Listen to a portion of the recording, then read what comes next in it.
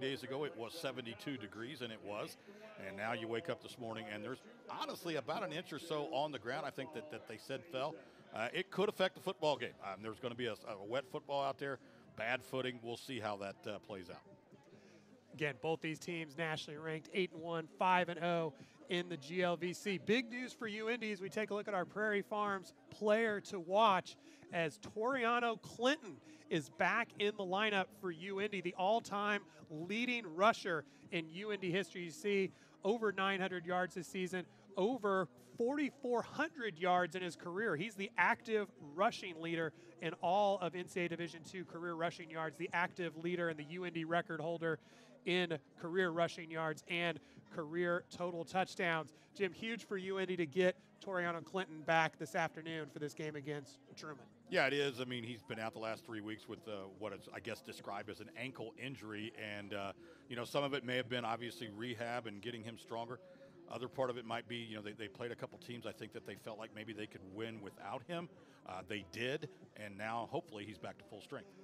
Yeah, the last few weeks, Jaquan Buchanan was a starter averaging over 134 yards rushing in those three over the last three weeks. So UIndy in good position at the running back position today against Truman. As we take a look at our community hospital sports medicine injury report, UIndy still without starting quarterback Connor Kennett. He is out for the year with that injury that he suffered against McKendree earlier this season. Christian Conklin starts again this week, and also one more injury for the Hounds as they are out uh, a little bit of their wide receiver and return depth in Marcus Gillum. But as we kind of get ready and look forward to kickoff, Jim, kind of what are your keys to the game for these teams this afternoon here again with this game with championship implications? Well, you know, Matt, both of these teams honestly give up a fair amount of points. Both of them, you know, give up more than 30 a game. And so I think the defense that can actually step up and get a couple stops and get off the field could be a huge key for either ball club. Number two, simply protect the football. We already talked about it. There's about an inch or two of snow. The ball's going to be wet. The footing's going to be poor. Fast starts. UIndy uh, has scored 209 points in the first half so far this year. That's what they're hoping to do. Obviously, Truman State's hoping to prevent that or get a false or a fast start of their own. And in the kicking game, two really good kickers in this game. Colin Seymour for UIndy and Ross Grant. Both of these kids are like 33 or 35 for PAT, so just about automatic. And both of them have nine field goals on the season. So it could come down to a, to a field goal or a kick to win this game. And I know we knew, kind of, we talked about the weather as well, that it knew it was going to be cold, but you wake up, and I think there was a little bit of snow in the forecast, but I may have surprised the amount of snow. How does that, you know, when these coaches woke up this morning, look at the weather, how does that maybe change and what you're telling the guys in the locker room and here in the pregame and maybe some of the things the players were maybe testing out to be prepared to go in a game? Again, neither team really has had, has had to play in snow yet this season. Well, you know, how, how, it changes the coaches and what they tell the kids can sometimes be two totally different things. Uh, the coaches probably were scrambling and saying, okay, again, footy's going to be a premium, so we're going to run the ball even more, which both these teams run the ball a lot. I don't know that you can run it much more. Uh, but then what you tell the kids is, guys, this is football, man. You know, this is where we want to be. You know, blah blah blah. You got to get them fired up. Uh, it don't have to be true. You just got to get them to buy it. Uh, and you know, again, expect to see a controlled passing game, a lot of quicks, a lot of short stuff uh, slants, comebacks, hitches, and then maybe some hitch and goes or some sluggos, some, some slant and goes. But again, they're going to probably start very, I don't know what the word is, but conservatively in the passing game. Yeah, senior day as well for UIndy, so some of those emotions on the side of UIndy as well as they celebrated a just a ton of seniors in pregame ceremonies before this game gets started. You know, getting teams as Jim mentioned, kind of mirror image of each other, both amongst the top teams in the NCAA in rushing offense as well as in rushing defense. So two teams that really want to run the ball and really good at stopping the run. So it'll be interesting to see how that plays out here this afternoon. We'll take a break and come back and get you ready for kickoff. The starting lineups coming next on the ISC and GLVC Sports Network. Tonight's UIndy broadcast is brought to you by Free Enterprise System, the official travel agency for Greyhound Athletics. Anything else is just a bus ride. By Prairie Farms, we are Indiana's dairy. By Indiana Members Credit Union, proudly supporting UIndy athletics and offering a free UIndy debit card. Show your school spirit and get yours at imcu.com. By Gordon Flesch, technology that works, people who perform. Please visit us at gflesch.com. By Aqua Systems, helping people improve their water since 1959 and a proud sponsor of the UIndy Greyhounds. And by the Ray Skillman Auto Group. Go to rayskillman.com for your best deals.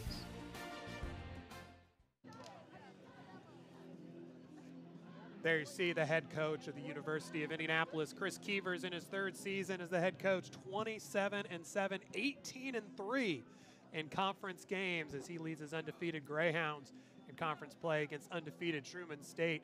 This is the third time that these two teams have met in this situation where the winner would win the Great Lakes Valley Conference. The previous times in 2013 and during the spring season of 2021, UIndy 2 0 in those games, winning 21 to 14 back nine years ago in 2013 and 46 to 29 in the spring of 2021. This is the 10th all-time meeting between UIndy and Truman State. UIndy leads that meeting 8 to 1 all time and undefeated in those games played here in Indianapolis.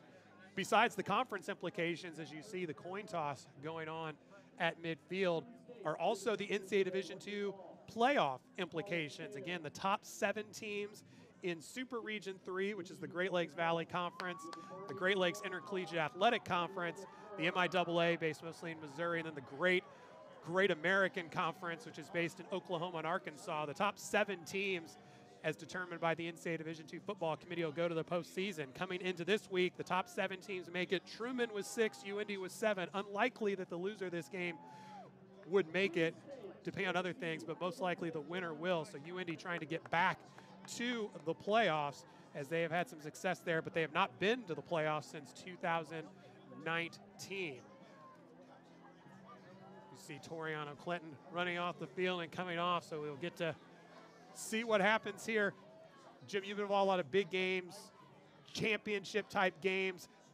What is, how does that change, or maybe the, you know, UIndy's kind of been here before. Truman, maybe not as much, but certainly historically a very successful program. But managing those emotions and what these coaches say with, you know, the players know what's on the line. Yeah, they do. And, you know, when I coached, I, I really did always try to make the kids feel like it was just another game. Uh, before we'd go out, I'd say, hey, guys, this is a football game, and you're going to miss blocks, and you're going to miss tackles, and we may fumble the football. And then I, you know, I, would look at a kid and say, have you ever missed a block? And kid, well, yeah, coach, lots of them. All right, well, you're going to miss some today, too. Don't let the emotions get the best of you. Don't let it get you down. Get up and play the next play. It don't matter whether it's a football game or it's, it's life. The most important play is the next one. And uh, the, the last one's over. Can't fix it, can't change it, but you can have an impact on the next one. So that's how I always try to get kids to kind of calm down and relax. Let them know, hey, there's going to be ups and downs. You know, and, and, and that's the other one, too. Don't get too high. You know, if we get out to a 14 nothing lead, guys, don't lay down, don't quit, don't think this is easy. It Used to really upset me when my players would come off. We'd we go up 14. Hey, coach, we got this. Shut up, right? we, we still got three and a half quarters of football to play. After the game, you can tell me how we had it, and I'll believe you. And these game, these teams, no stranger to tight games. Just last year, it was a 13 to 10 win for UIndy in Kirksville, Missouri, against Truman. So they were in a tight game last year, a tight, low-scoring game, which very well the way these defenses play, and again the conditions, we could possibly see again today as we'll get to see the Truman offense first as UIndy will kick off Carter Ward, the freshman from Columbus, Indiana, taking over as the kickoff specialist for the Hounds over the last couple of weeks. Jack Butchko back deep. Along with looks like DJ Flint. And that's Flint. He'll take it from about the 11. Looking for some room and showing good strength to drive forward and get past the 35 yard line. So it'll be pretty good starting field position for Truman. So we take a look at the starters for Truman. They are led by their running back, Shamar Griffith, as he has been excellent the last couple of weeks as well. The last two weeks, he's had 177 yards against Quincy and 165 yards against McKendree. Nolan Hare has been the starter for several years. The 2020 GLVC Freshman of the Year at quarterback, 63% completion percentage. He's top 25 in the NCAA in completion percentage for the Bulldogs. And he'll throw in the opening play of the game. Quick out, short gain as he throws to his tight end, Matt Hall gain of about three, three or four to get this game started. A little quick, uh, maybe an RPO there. It looked like zone read, and they just uh, threw the slant. Uh, I love play action on first down. I don't know why more coaches don't do that. Uh, defenses are obviously gets kind of frothing at the mouth, ready to come downhill, play run, and you know you give them a little run fake. Doesn't even have to be a good one. It could be an open hand, and uh, you'll get people to move, and then it, it, it makes passing lanes open up. Truman goes with two tight ends. This is the first look at Shamar Griffith. He runs right into the middle of that UIndy line and is swallowed up by Dylan Shelton in the middle for minimal, if any, gain for Griffith, and will bring up third and long. Yeah, you're going to see on the replay here, they actually blitzed right into it, and uh, the left guard had to pick up the blitzer, and that left Shelton uh, basically unblocked and available to maul the ball carrier. Shelton, a player that has come on, kind of started as part of the depth in this defensive line for UIndy has moved into a position as a starter next to Dennison as it's third and six on the opening drive for Truman. They're one of the best teams in the country. 47% conversion on third down this season. No back in the backfield for Hare. Quick throw out into the flat, and that is his running back, Shamar Griffith. And he'll get past the first down marker before he's knocked out of bounds by Michael Brown. Yeah, you mentioned the third down conversion rate, Matt, and you're right. It's really honestly an insane 47%. That's awfully impressive, but not quite as impressive as their fourth down conversion rate, which is 90%. And you think, oh, well, what do they go for once or twice? No, they're 9 of 10. When they go for it on fourth down, they tend to get it. First and 10 at their own 49.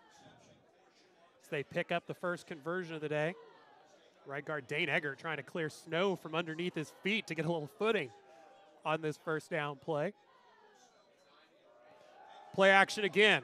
Looking deep down the seam, and it is caught and brought in by Matt Hall, the tight end. He got past Cavante Houston, and a gain of 26 for the Bulldogs. Again, the play action a fake doesn't have to be premium. Watch on the replay there.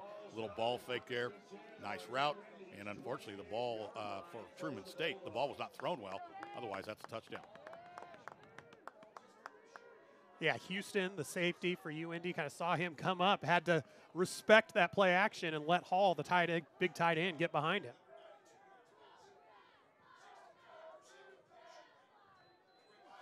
And this is Sutton, the backup quarterback in the game, but they like to run with him as he picks up a nice chunk of yards, about seven yards on first down. Colin Sutton, the sophomore out of Winfield, Missouri, takes the direct snap and gets a nice gain on first down. Well, that's one of the things that the defensive coaches for UIndy and, and the kids on the field have to be aware of these personnel changes. You mentioned Sutton. He's ran the ball 32 times for 263 yards.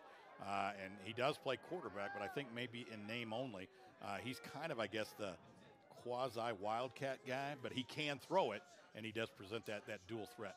Yeah, you mentioned Mount Rush has only seven pass attempts. Handoff inside to Griffith, and he'll be tripped up and brought down by Clay Schulte and bring up a third and short. Well, nice job of Schulte. Now, again, these linebackers are playing downhill, and that's a good thing. You want those kids to hunt, but that does leave you a little susceptible to the play action pass. There has to be a balance. You know, it's one thing, you know, you want your defensive kids to fly around, 11 guys the ball, uh, but, you know, at the same time, they still have to play gap responsibility first, maintain that gap integrity. Two tight ends out there for the Bulldogs, but they're both slot right. Running back Denham Cook in the backfield. Hare will take it and keep it and look for room. Excuse me, that's Sutton again, and he steps through and picks up the first down and more before he's brought down at the 11 yard line. Just a pre designed play, quarterback power. They pull the left guard around.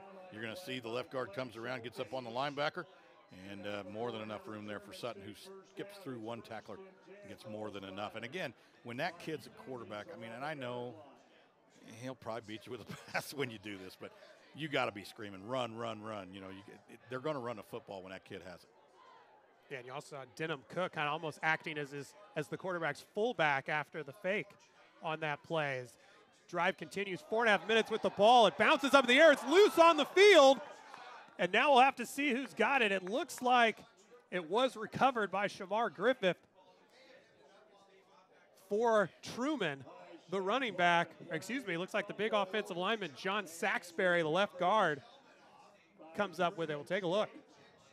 Yeah, I, right there, you thought he Griffith had it, but then it gets loose again, and the helmet did come off of uh, the left guard there, but apparently the officials. Nope, he's got to come off. Yeah, got to come off for yep. a play. We talked to you talked about as your key to the game ball handling, yep. and we saw for yep. the first time there a high snap from the center Beastmeyer that Truman is fortunate to maintain, but they now face a second and 15.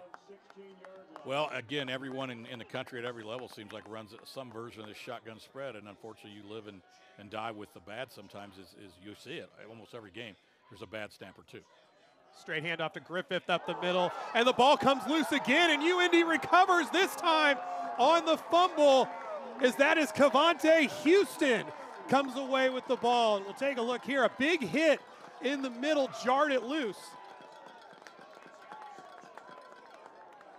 Yeah, it was just like it's hard to see who comes in here. You just like a shot out of a. I think that might have been, yeah, it's either Guerriere or Schulte. Uh, it looks like Schulte, 28, who knocked it loose, and Cavante Houston comes away with it to stop a very tr- promising opening drive for the Bulldogs. Well, we talked about how important it is to get some stops, and obviously that's not exactly what Coach Keevers would draw up. He'd like a three and out, but they'll take it.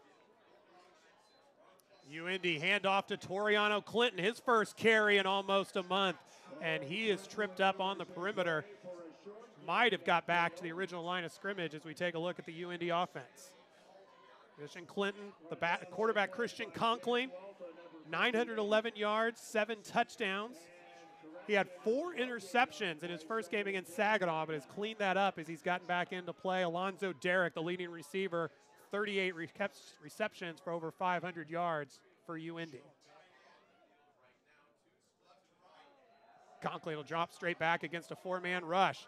Throwing it deep down the right sideline, was looking for Clinton, who was covered on the play by Ben Thomas, but he couldn't find him. And now UIndy, after the turnover, faces third and 10. Well, I like the route. Again, I like the fact that Conklin showed a lot of poise back there. The, the pocket was starting to collapse. He didn't really – uh, panic. He just kind of overthrew that ball there. Unfortunate for the Greyhounds because that would have been a huge game. The Bulldogs go to three down linemen on third and long, bringing in an extra DB. Yeah, they're expecting screen or draw here. Logan Caney in motion, three receivers left now for Conklin. Instead, it'll be a handoff to Clinton, and then he is brought down after a minimal gain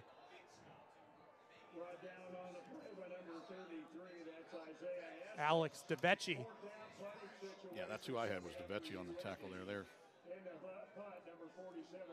Only a couple of yards, and now UIndy is going to have to punt from deep in their own territory. Ryan Zoller. Wind is kind of a west wind, if, if much of anything, so he just needs to unload on it. Yeah, it was throughout much of the pregame. A little bit of wind, snow was still coming down, but it appears to have stopped snowing, and the wind go down. And Zoller just barely gets it away. But then a great punt that goes over the head of Ben Thomas, and this thing is going to keep rolling and rolling down as that is going to be over 60 yards. Zoller's longest punt of the season at a crucial time for the Greyhounds. Yeah, again, almost blocked there, but he was able to get it away. And again, uh, we always coach kids, although that would have been a tough one to fair catch. I do think it would have been possible. You got to fair catch football. Every time uh, years ago, we, we sat down and went over every one of our snaps over the course of a 12 game season, and we, we figured that a punt that hits the ground costs you 15 yards. Uh, so just run up there and catch it. Truman, after the fumble on the opening drive where they had driven inside the UIndy 15, gets a three and out and gets it back as Hare's pass is knocked down by Guerriere who came through unblocked to knock it down. So two good plays in a row for Guerriere there. Again, he was in on that, uh, knocking the ball loose on the prior, but really nice job. You, normally you teach your defensive lineman that if you can't get there, you realize you're not going to get there, get your hands up, try to block it. Uh, he's coming from his linebacker position, realized he was not going to get there in time Uh, to make the tackle. Yeah, and Hare a little undersized too. He's only 5'10 at the quarterback position, but as unblocked as Guerriere were not sure a guy 6'10 would have gotten it over the top of him on that play. Yeah, he played at about 6'10 that play. Handoff to Griffith going behind left guard, and he's not going to get much. Honeyus, one of the linebackers there for UIndy. And now UIndy also kind of will play this three down lineman nickel package where they'll go kind of quicker along the defensive line. Jalen Wilson, number 41, coming in. Quicker defensive lineman, and then kind of a, another linebacker with KJ Raudebush as UIndy kind of goes to a 3 3 5 in these long yardage situations. You go with your quick package here. You're going to try to put some pressure on the quarterback. But again, watch screens and draws. Um, really, on offense doesn't have much to lose if they play conservatively here. Yeah, and UIndy will go at three, four, five, or six sometimes out of this package. They rush four. Hare steps up in the pocket and throws over the middle to a wide open man. That's Zach Zerwig on the nice play. Sat down in the zone, and he was found by his junior quarterback, Nolan Hare. Well, again, really nice ball here delivered, like you said. Finds a soft spot in the zone, sits down, and you know maybe the ball's a little wet or whatever, but that's another pass that if it's delivered where he could catch it and run and not have to fall to the ground, that could have been a 20 or 30 yard gain.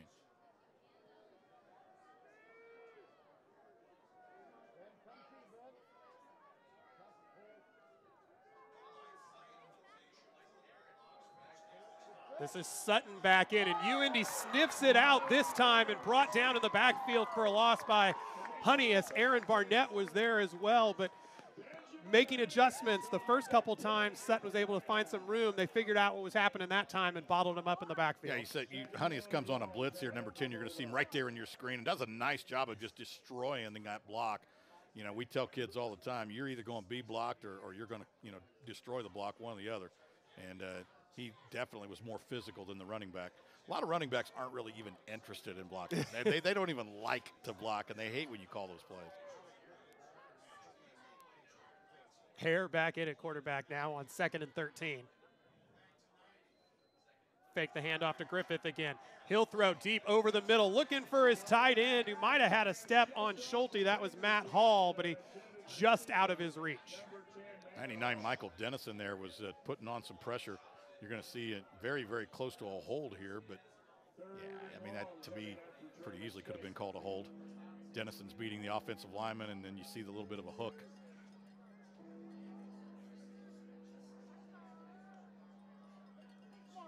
Denham Cook coming on late for Shamar Griffith. Cook, the freshman from Decatur, Illinois, their second leading rusher. A little slow getting the play in here. Play clock at seven.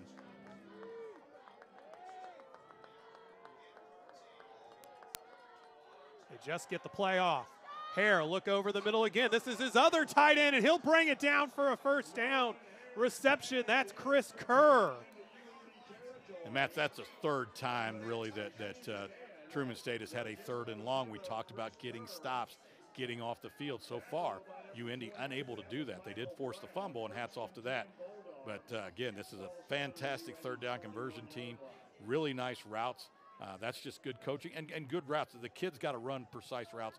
You don't want to have two receivers close enough that one defender can guard them both. And definitely, you see that they've kind of attacked down the seam with both tight ends now, something that they've maybe seen on film as an, something to exploit. Play action again. This will go to Zerwig. Quick out, and he'll pick up six yards on first down. Yeah, and these tight ends are tight ends in name only. I don't know that they've lined up on either side of the tackle all night long. These are great big old kids. As you look down there, you see number 88, Tate Crane, and he's listed as wide receiver, but he's 6'3", 205. Uh, every one of these kids could be a tight end. Yeah, Hall, who we've seen a couple times, number 6'3", 225. Kerr, who had the big catch there on third down, 6'3", 230. But you're right. Some a little bit of H back, but yeah, I don't think we've seen them lined up directly next to a tackle on a play yet play action again. This is going to be thrown out quickly and caught and brought in just past the sticks. That's Zerwig, his third catch of the quarter. Well, those are really hard to defend, and I've, I've heard defensive coordinators uh, talk all the time that you know they're just going to kind of give these little three and four yard gains up. Uh, they, they don't believe most offensive coordinators are patient enough to continue to throw them. Everyone's like, ah, they'll have to take it away eventually. Well, what if they don't? Just keep throwing it until they do. Mason Husky is the running back in right now. And he'll come in motion out to the right side and leave an empty backfield. Stepping up, he'll throw over the middle again, looking for Zerwig, who brings it in one handed, and he's going to be down at the one yard line. Got past the linebacker, Schulte. Uh, just a fantastic catch here, and really, honestly, very good officiating too. He's down right there, yeah. and uh, the official down here on the uh, the head linesman down here at the bottom of the screen is all over it. Great one-handed catch by Zerwig, junior from St. Louis. 99 Michael Dennison in for UIndy, the goal line set here. And they leave Husky in at the running back. Handoff to Husky up the middle, and he's not going to get anything. Guerriere brings him down, and I think you called it there. Dennison might have been the man underneath him who blew it up from his tackle spot. Yeah, I would agree. Dennison goes low, and, and uh, so they kind of go go high and low on him. Now, again, every game I ever block, broadcast, it's it's first and goal at the one. You stay in shotgun, you snap the ball, and immediately it's first and seven. I don't like that. I think you got to get under center and let a running back come downhill. Uh, you got a running back that's kind of going laterally as opposed to just giving you know total speed downhill. I don't like it. Denham Cook in as the running back now with Hare remaining as the quarterback. He'll fake it and now roll out to his right. Looking to throw, pass fakes and gets to the corner. Touchdown, Truman on the three yard touchdown run by Nolan Hare. Now, I do like it if you're going to throw the football, and that's what they tried to do. That was actually a design pass, and then there was nothing there, and, and he does a nice job of. And I love the ball fake late. Defensive players need to kind of know the rules, and, and, and you know he can't throw it if he's past the line of scrimmage. Uh, you're going to see the ball fake here about the five. So uh, that's okay. I mean, he could have still thrown it there, and then after that, it was just over. I like shotgun if you're going to throw it down there. I don't like it if you're going to run. If you're going to run it, get under center, hand it to a big strong kid coming downhill from seven or eight yards deep and let him run over somebody. Grant Ross, sophomore from Liberty, Missouri, is on for the extra point. He's 33 of 35 this season. And it is up, and it is good. And Truman strikes first and leads UIndy 7 to nothing here on the GLVC and ISC Sports Network. At Aqua Systems, we believe in one simple idea that it should be easy to get great water. That's why we provide a hassle free sales process with money back guarantees and the best warranties anywhere, all on equipment made in the USA. In fact, at Aqua Systems, we make it so easy to fix your home's water that 9 out of 10 people who shop with us buy from us. Contact Aqua Systems today. You'll love your water.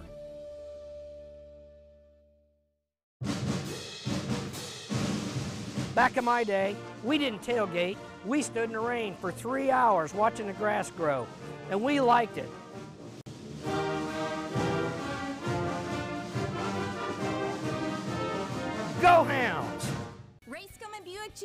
Truck was just awarded GMC Dealer of the Year. Come see why and drive away in a new GMC Acadia for as little as 229 a month. US 31 South or I-465 and East Washington Street or rayskillmancars.com.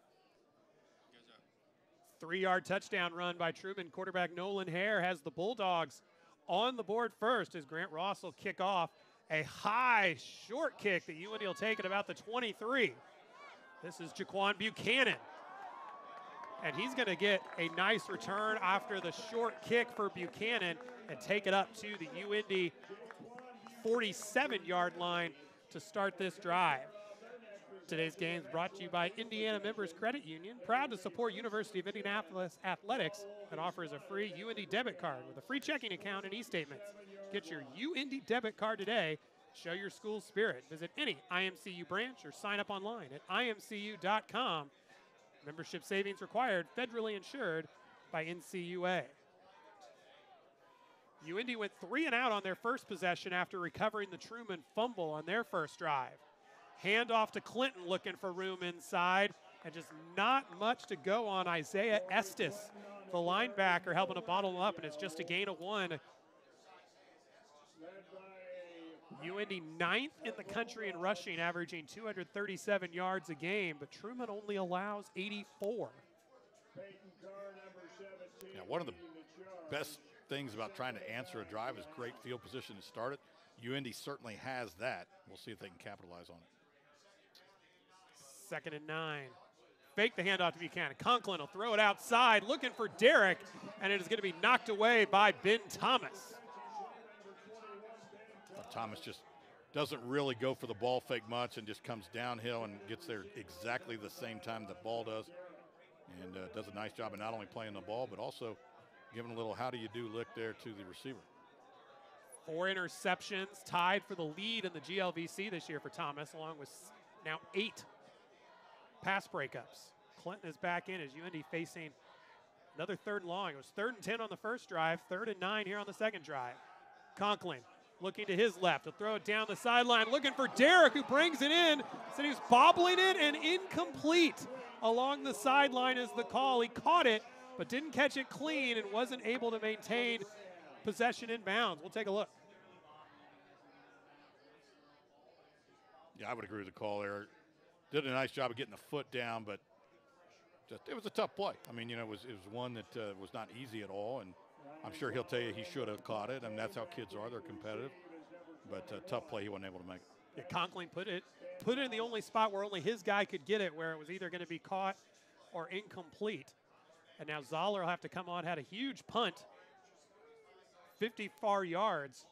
His first one lofts it up in the air. It's going to bounce at about the 20 and keep rolling inside the 10, inside the 5, and it's going to be down at about the 4.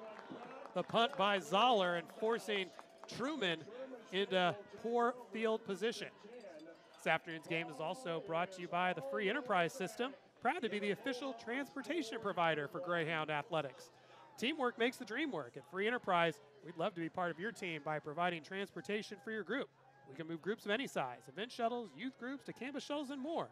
Contact one of our travel consultants at travelfe.com and book with Free Enterprise. Anything else is just a bus ride.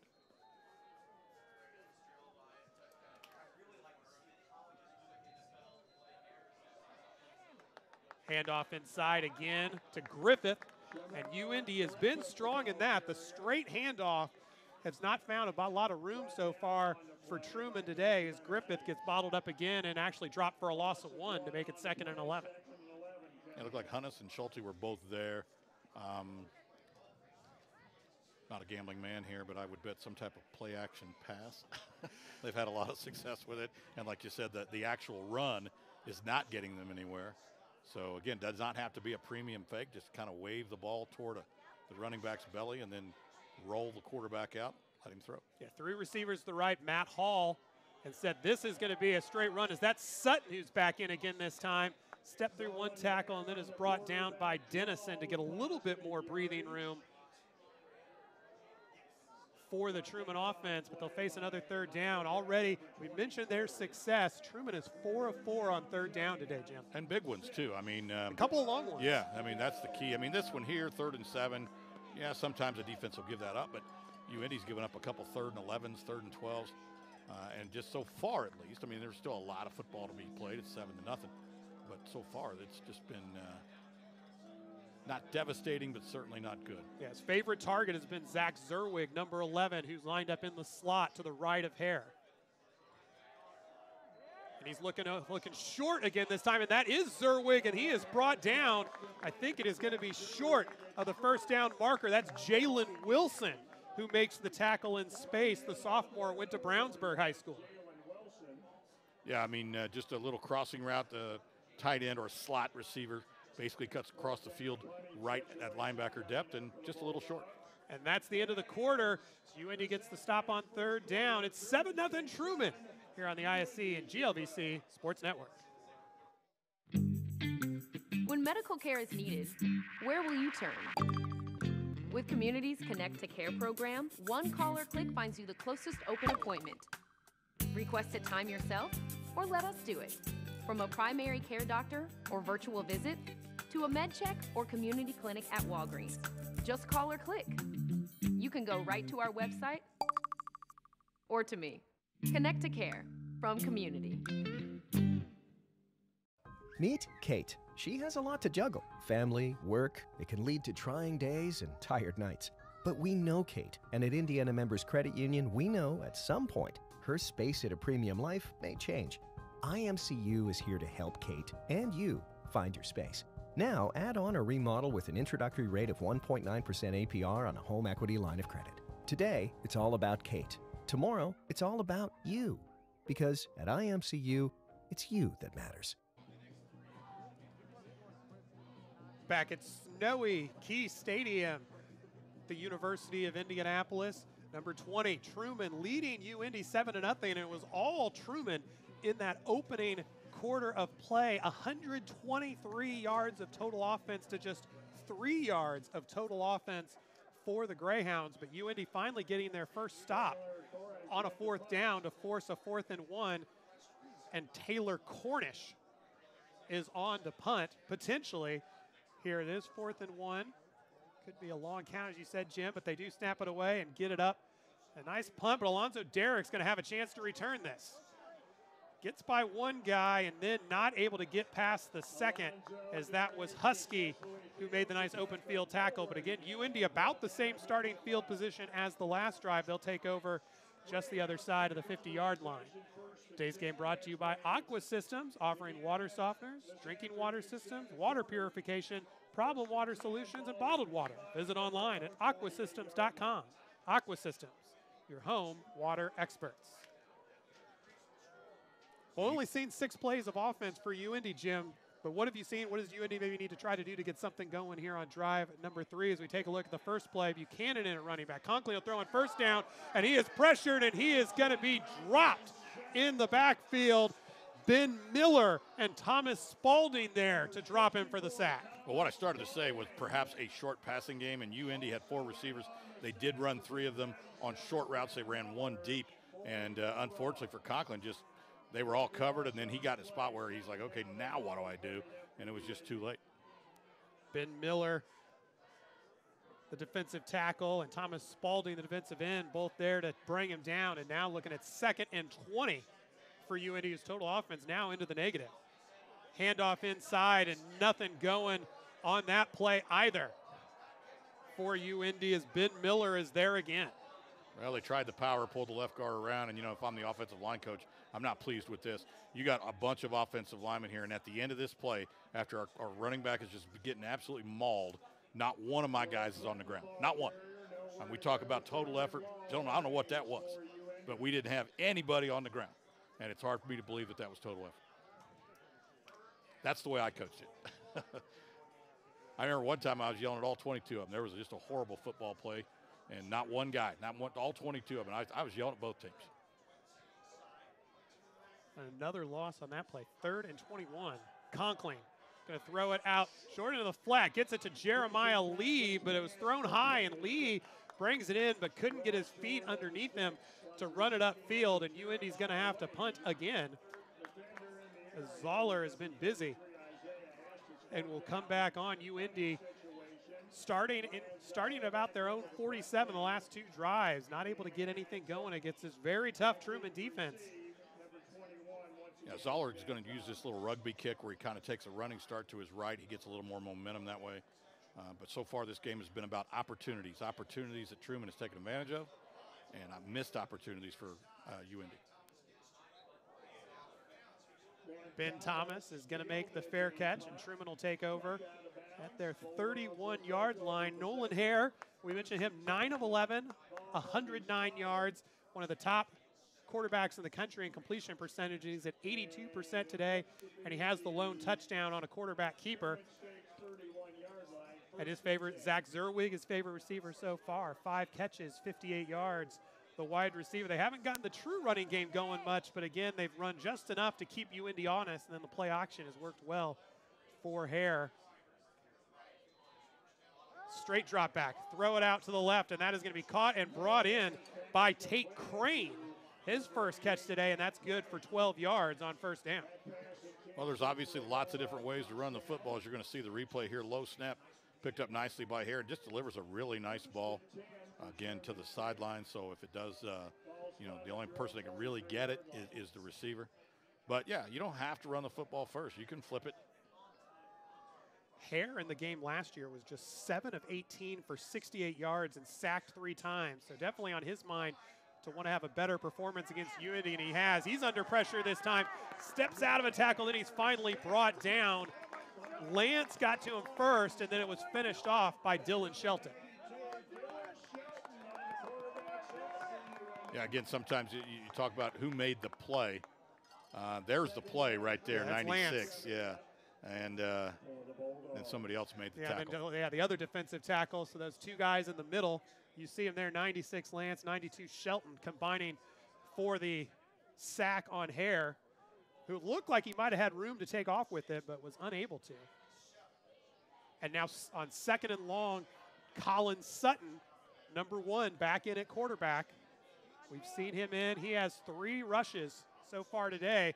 Fakes it, and he's going to take it himself again up the middle, and UIndy swallows it up. He'll fall forward for two yards.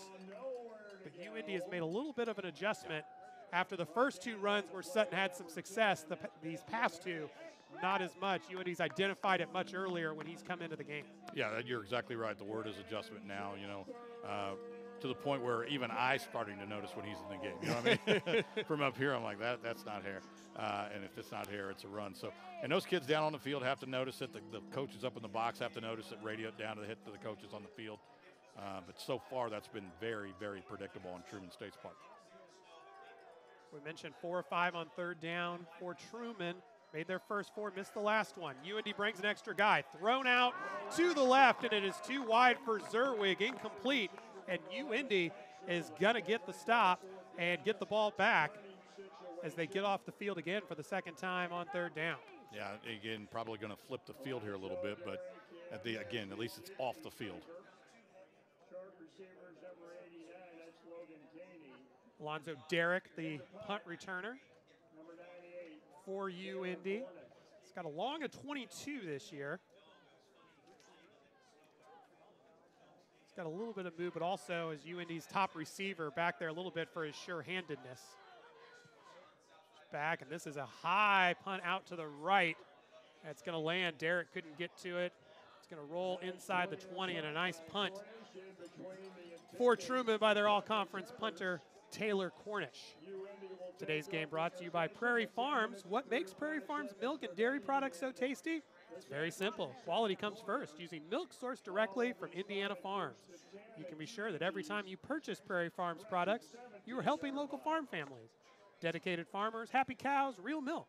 That's been the Prairie Farms way for over 80 years. Prairie Farms is Indiana's farmer owned dairy. UIndy still looking for their first first down of the game. They have nine plays for negative five yards. This Truman defense has been all it's cracked up to be so far. Handoff to Toriano Clinton going right. And it's going to be a minimal gain on that one as the hole is closed up quickly by the Bulldogs. Estes is there, also along with Ulysses Ross.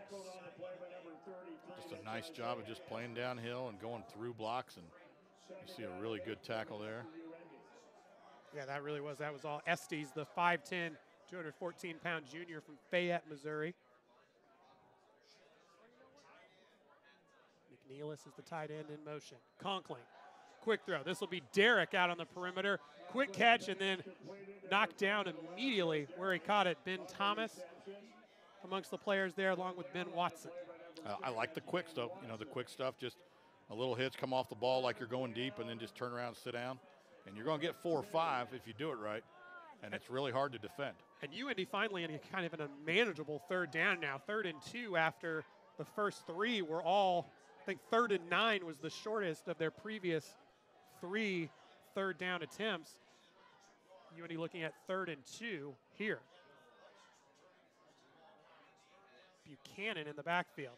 Direct handoff to him up the middle, and he is going to fall forward and be good enough to get the first down. Take it, that was Clinton, excuse me.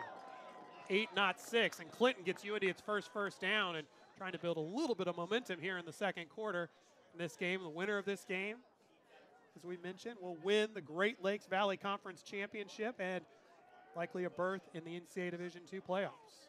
And one advantage that, that Truman State has over UIndy right now is that Conklin does not run the football. He just doesn't run it often. He's not a threat.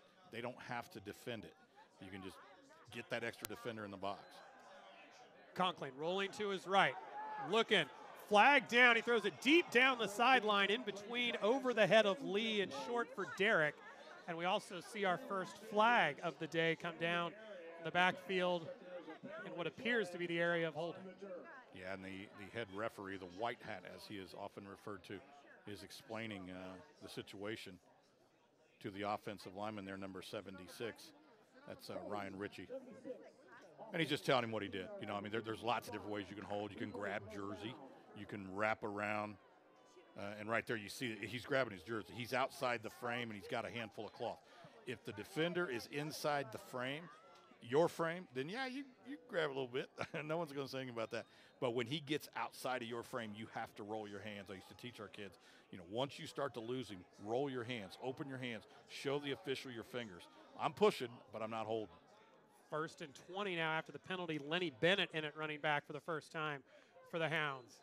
We're going to do a jet sweep. Jeremiah Lee getting out on the perimeter, and he just got upended, kind of hip checked unintentionally by Ben Thomas. Gets back about seven yards of the penalty. UIndy trying to use a little bit of their speed on the outside on that play. Yeah, Lenny Bennett, number 31, had a nice block out here on the perimeter, and that's so important. Uh, if you're going to run jet sweeps and things like that, you've got to block spot screens. Uh, a lot of times you see somebody throw the football out there, nobody blocks, two yard loss. Conklin's got Buchanan in the backfield with him this time. Throws underneath to Derrick and he is immediately wrapped up by Ulysses Ross for a short gain and maybe only one. He had to get rid of it quick as Ben Watson, one of the free safeties, came unblocked off the right side. Yeah, and I think Watson was responsible basically for checking uh, Buchanan, and he did not check him at all. And if Conklin would have seen that, he could have gotten the ball to Buchanan, and he probably would have ran to Greenwood.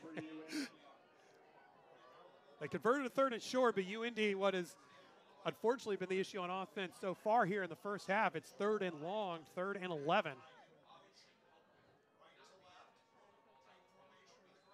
Conklin fakes the handoff, but pressure comes, and he is brought down on the play. Ulysses Ross came unchecked past the right tackle, Ryan Ritchie, to bring down Conklin's second sack of the day for the Bulldogs. Well, again, you just see him do a nice job. We, we, we call that, uh, you know, a rip move where you're going to rip the back arm and get your shoulder pad past his midpoint. If you can get your shoulder pad past his midpoint, now just keep working, keep working, keep working. Come out underneath and big play for him.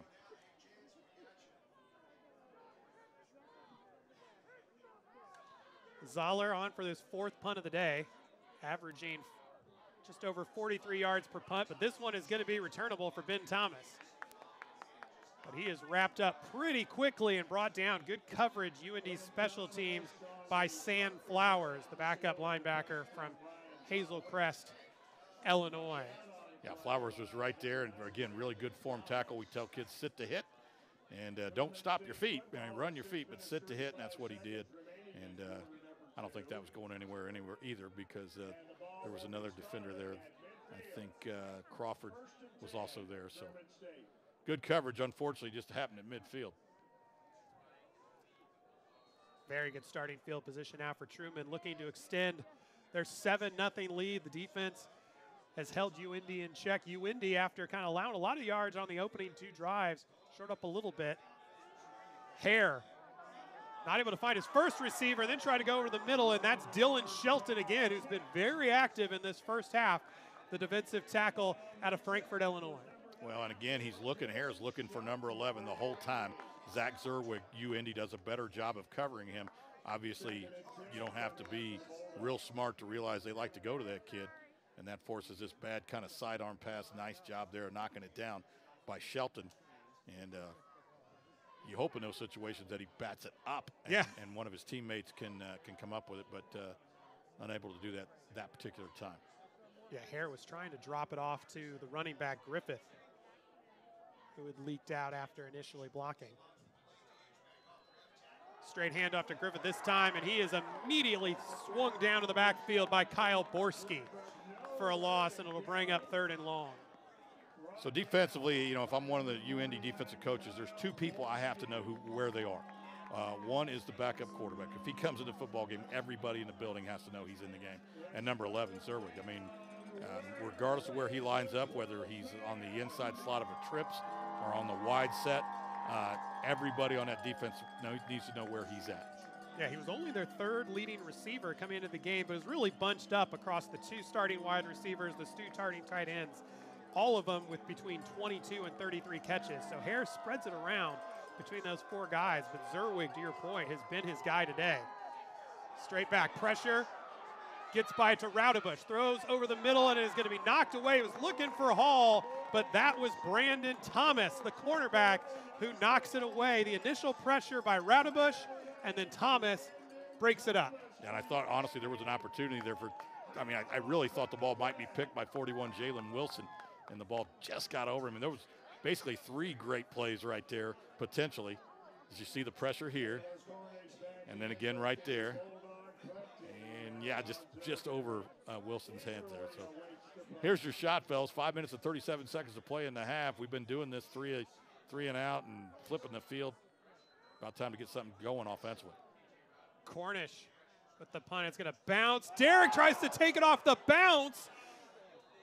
And then it bounces down on an opportunity for Truman, but he was unable to recover. It was DJ Flint, and Derrick gets away with one there for UIndy to maintain possession after he tried to field it off the bounce. Well, again, when you, you coach those kids that if you get a good high bounce, take it because Yeah. if you don't, it's going to roll all the way to the two. Uh, so I'm not mad at the kid for doing what I told him to do. I would would have liked him to do it a little better. We'll get a great look at it here. There's the bounce. There's the bounce. Take that bounce. And then almost just didn't bounce high enough for DJ Flint.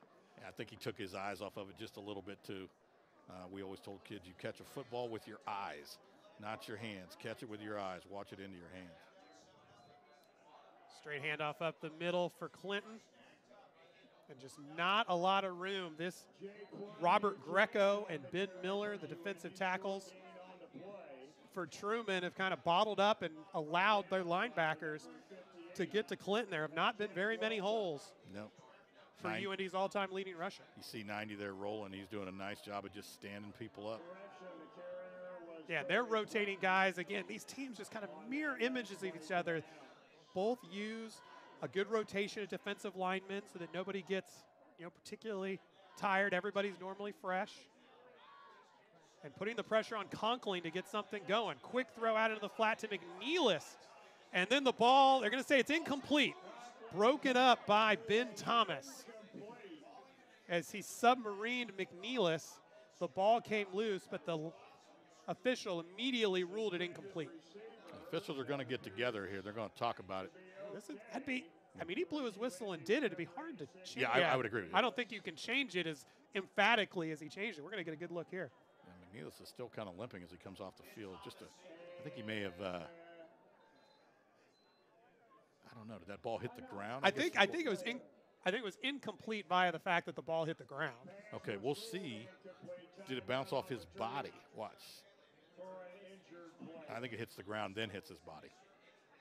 Officials are still kind of discussing it, but I'm like you. I think once you blow it dead, I mean, what are you going to do? I guess you could Yeah, and, award uh, the football and, to Truman you know, the spot. And in the GLVC, there is no replay. Okay. So McNeilis limping off. We'll take his opportunity to take a quick timeout here on the GLVC and ISC Sports Network.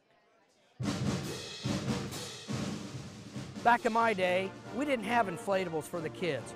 They played with sticks and stones, and they liked it.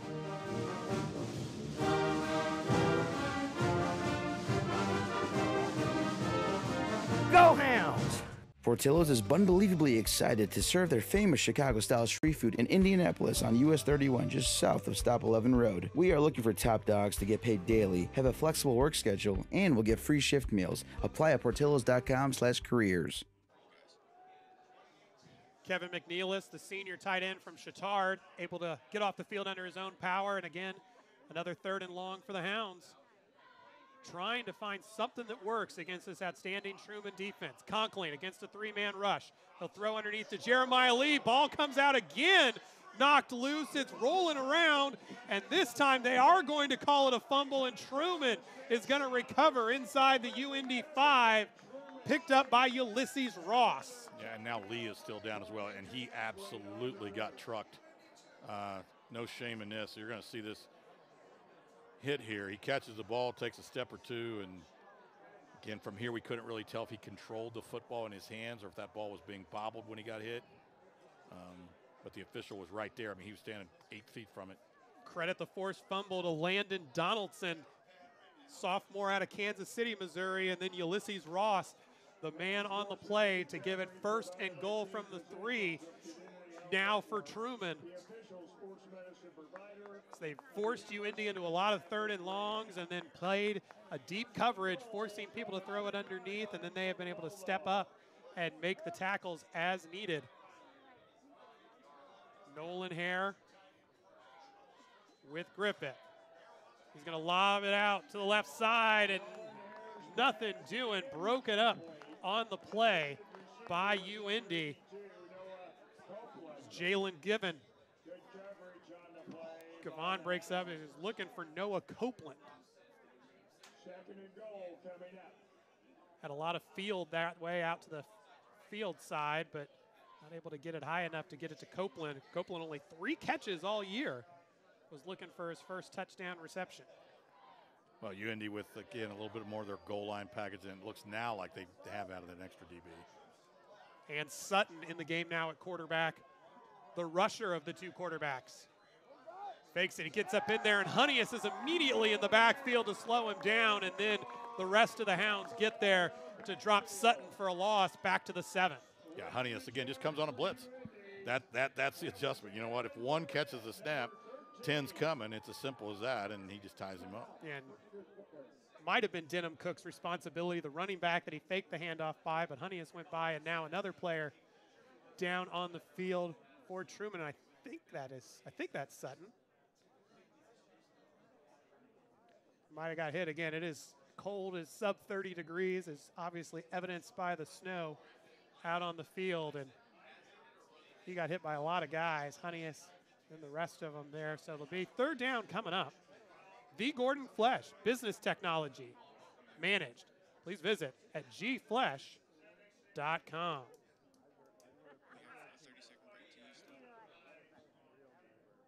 And Sutton is back up. He's going to hobble off here. And hobbling in, in, in, a way, Matt, that now they're actually. Yeah, hobbling, yeah, he's not. He's. Gonna, I thought they were going to carry him off. Uh, that kind of indicates he's probably not going to come back. I mean, every now and then you'll see a kid, they'll lay there for a minute. It's kind of like stubbing your toe. It hurts, and, and then it kind of dissipates, and kid will get off under his own power. But that does not look necessarily uh, like he's going to come back. We'll see. I mean, kids have different levels of toughness. Uh, at some point, they could walk him to the locker room, get him warmed up a little bit. He may feel better. This would be a huge, huge goal line stand for the uh, Greyhound defense if they can get this play right here. Third and goal from the six. Hounds bring a blitz. It's picked up. Hare is going to roll out to his right, looking, trying to get to the corner. He dives. Touchdown, Truman. Nolan Hare rushes for his second touchdown of the day. He had two rushing touchdowns this season. He has two today, and Truman increases their lead to 13. Well, slim, similar but different to the other touchdown. This time there's two linebackers blitz, and he realizes it immediately. Number 30 picks up the first one, and then he's like, you know what? I got one shot here, and that's to get to the, the pylon, and he does. Uh, that block was by Denham Cook for Truman. Just got past the grasp of Kiave Guerriere, who couldn't get out to him in a race towards the pylon. And now UIndy really behind it as the extra point is up and down 14 to nothing as Truman gets the fumble. They get the fumble recovery and they take advantage of the turnover. 14 nothing. The number 20 Bulldogs lead the Greyhounds on the ISC and GLVC Sports Network. Meet Chip. 30 years ago, he started a small business with a big idea. Today, there's a new building, a new fleet of equipment, and a new era of leadership. But we know Chip and at Indiana Members Credit Union, we know he plans to keep growing, building business with the next generation. IMCU is here to help with secure and simple account management tools and commercial financing to grow business. Today, it's all about Chip. Tomorrow, it's all about you. Because at IMCU, it's you that matters.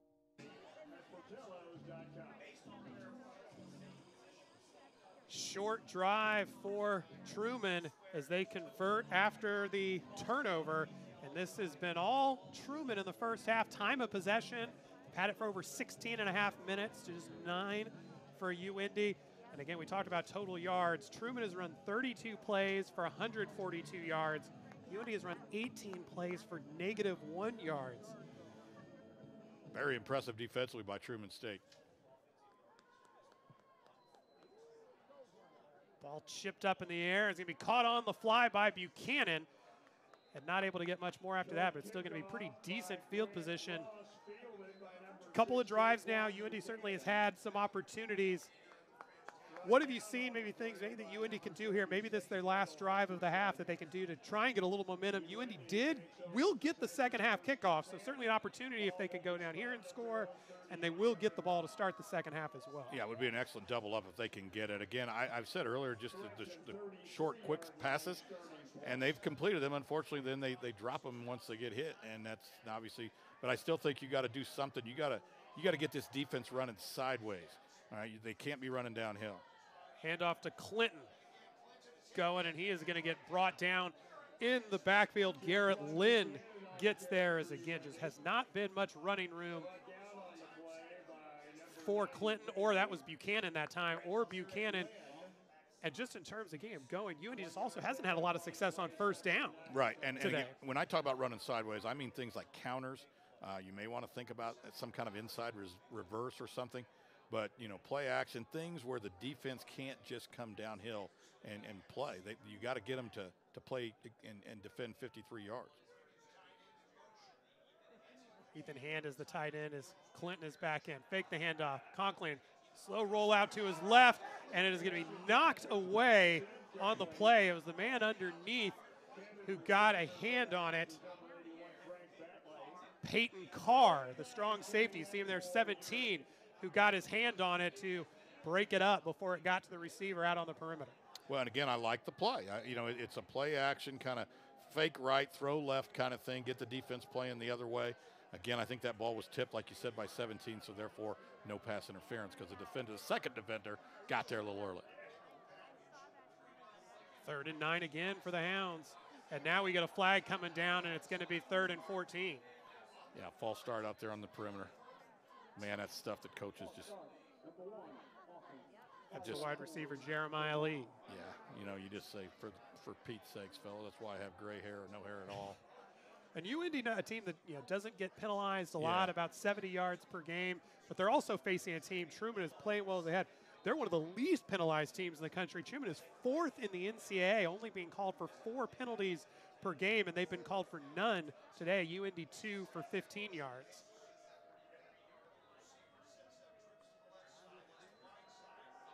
Conklin looking, going to throw over the middle. He's got a man wide open. Big gain for UIndy. Frank Bentley with the reception, and UIndy finally finds something, converting on third and 14. Well, just got barely enough time to get the ball off, and then a nice ball delivered in the pocket of Bentley, and then Bentley absolutely fought for extra yardage. Honestly, got a couple more than that. They had already blown it dead because of forward motion or forward momentum. But you see that right there, and I, right here, you just wanted to hold on to it. That's Covered right. up. Conklin had some time to throw that time and put it on the money over the middle to Bentley, the, the junior from Louisville. Handoff and a little more room this time, and now we're going to have a rugby scrum trying to get a few more yards. That's Toriano Clinton on the carry before he's wrapped up. And there is the aforementioned 22 guys on the field and not one of them on the ground play. Uh, now, again, but they went motion left, so they gave the defense something to think about. Motion left, came back right. You've got to get the defense to play sideways. You can't let them play downhill. Now, if you're really good, you can just maul them, just run right over them. Conklin back to pass again. He's going to throw over the middle. High. Derrick had it in his hands, but then it's knocked away by Ben Thomas.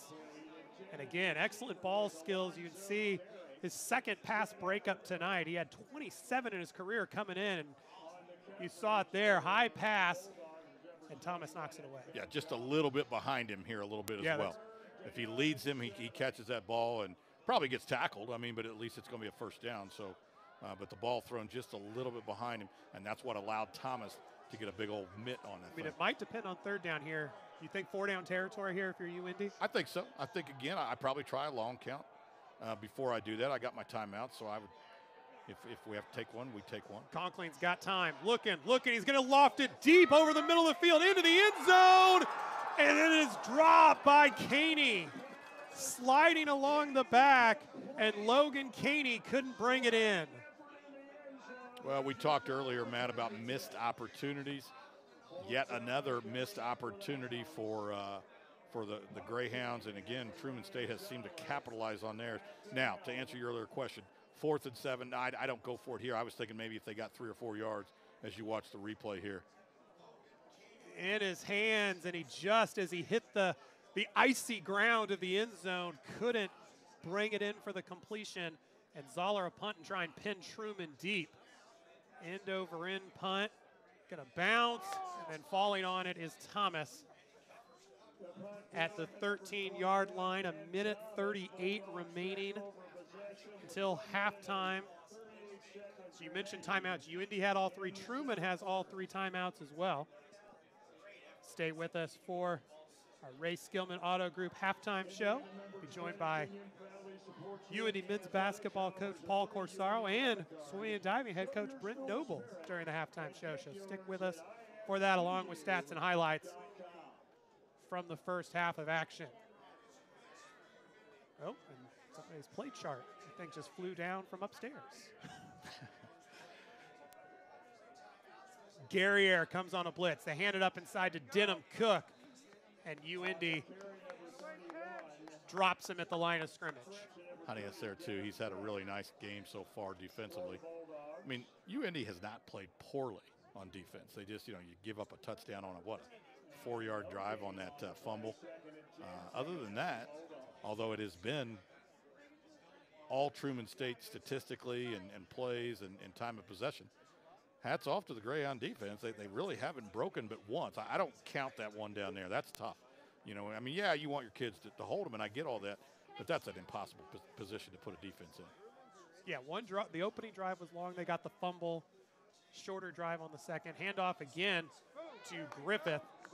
And Michael Brown is going to bring him down. That's his seventh tackle. And UIndy, I think, is going to, yeah, that's Chris Keevers. He's going to call the timeout with 49 seconds left. So this is a UIndy timeout with Truman facing third and eight to potentially, if you get a stop on third down, try and get the ball back, playing the clock and field position. UIndy uses its first timeout.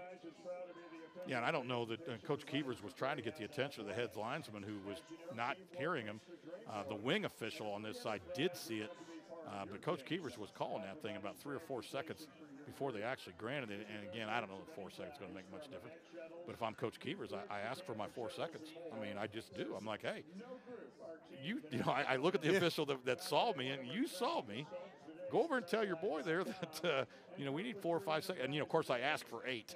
You know, that's right. Yeah, exactly. I, Gotcha. I like That's eight seconds. Yeah, yeah. And they give and maybe me you get four. yeah, exactly. Third and nine for Truman. If you're Greg Nesbitt and offensive coordinator Jason Kilday, do you, do you take a chance here or do what you've done on the first two, make UIndy burn a timeout and just take your chances that you can? That's exactly what I do. I keep the ball on the ground. I, do, I don't do not throw it. Um, you know, you can run quarterback draw. Let's see his. Uh, yeah, it's still hair. Okay. Yeah, you know, he, to. He could look. probably run a little bit too. I mean, uh, he's probably not again the guy you necessarily want to run. Uh, but you could run yeah, fake or yeah, keeper, yeah, something yeah, a little off balance.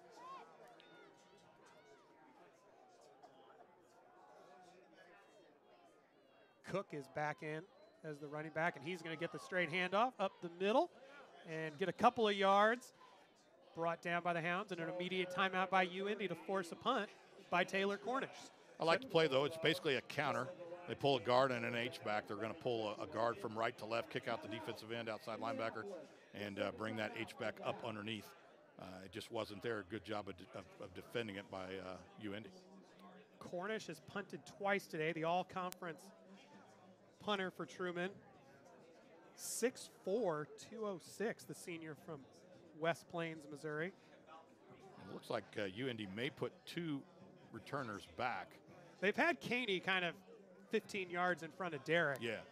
All night, and they're also long discussion with the front guys. Is this a talking about maybe trying to get it? Yeah. Or whatever you do, don't run into him. Right. No, and that's that's it too. Uh, you're you're reminding them that hey, listen, if we do go after it, you want to go for a spot about two yards in front of the punter, uh, and then and then dive sideways. Don't dive at him. Dive you know uh, you know parallel uh, t- to the goal line, and try to block the thing. But you could see maybe a reverse or something back here on the back end. Cornish is lined up at about the three. He comes, and a booming kick that's going to force Derrick all the way back, but now he's got some room to maybe do something with it. Looking to his right, and just not much there is a really good play by Thomas. So we've called his number starting at these, his corner position and also playing special teams. And he's also the punt returner for Truman, makes a good open field tackle. And after that excellent punt, by Cornish pushes UIndy back. They were probably maybe hoping to get it much closer to Yeah, midfield. Instead, they're going to start at the 36, 64 yards from paydirt. And you know that that play right there is, is kind of a, a you know a capsule of how the whole first half has gone because that looked like it was there for just a second. It looked like it was setting up, and then a, a really good player in Thomas comes over and blows it up. Yeah, or that in the elements, you, all the things that could go wrong on that play and executed excellently by Truman. Just a three-man rush. They drop eight. Conklin, a lot of time. Greco gets by, but he gets out of the grass, thrown towards the sideline. And a six-yard gain for Derrick, but more importantly, also the amount of time that comes off the clock down to 23 seconds here in the opening half. Well, you know, and, and Conklin kept the play alive, which is what your quarterback, what you want your quarterback to do. The wide receiver wisely got out of bounds. I've seen kids fight like heck to get that extra yard and stay in bounds. And those, again, those are things that cause coaches to have gray hair. Conklin again. Fourth guy comes. This thrown down the right sideline and nearly intercepted on the play. It was looking for Caney, but Ryan Olivas, who was also tied for the GLVC lead in interceptions, got there to knock it away.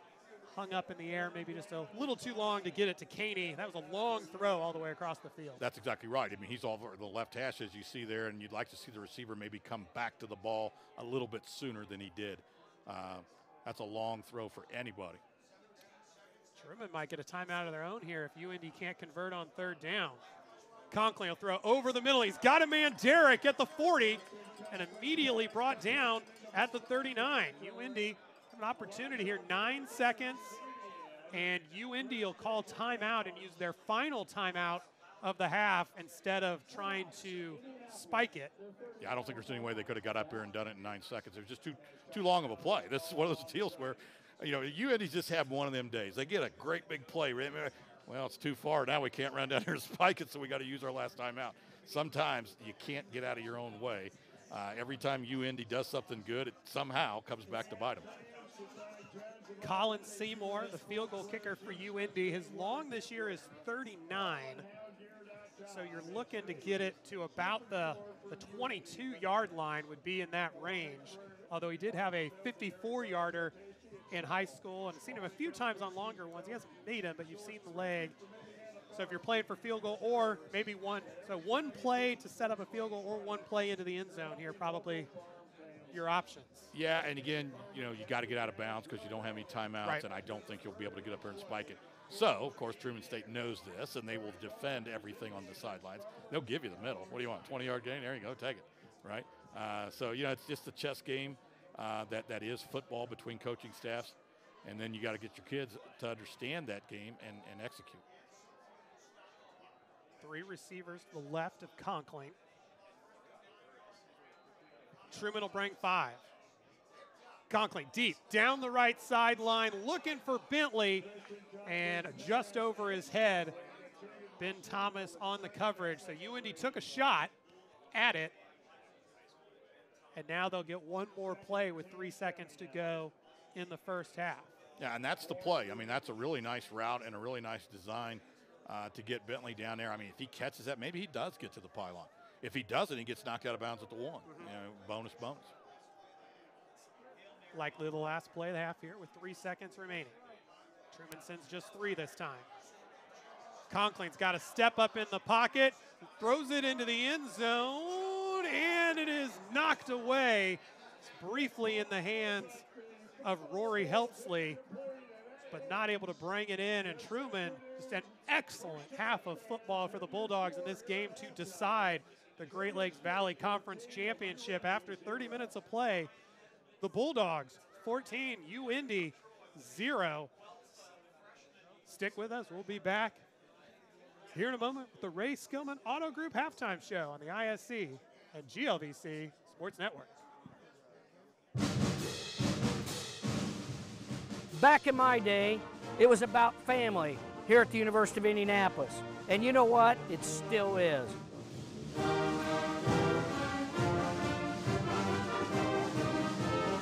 Go Hounds! Meet Zach. Day and night, rain or shine, even just out for a spin, Zach gets around. But we know Zach, and at Indiana Members Credit Union, we know he's been saving up to trade up.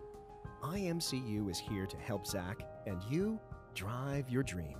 Now get financing as low as 3.49% APR on a new or used vehicle. Today, it's all about Zach. Tomorrow, it's all about you. Because at IMCU, it's you that matters. Back in my day, the entertainment at the football games was Uncle Larry playing his banjo in the back of the van.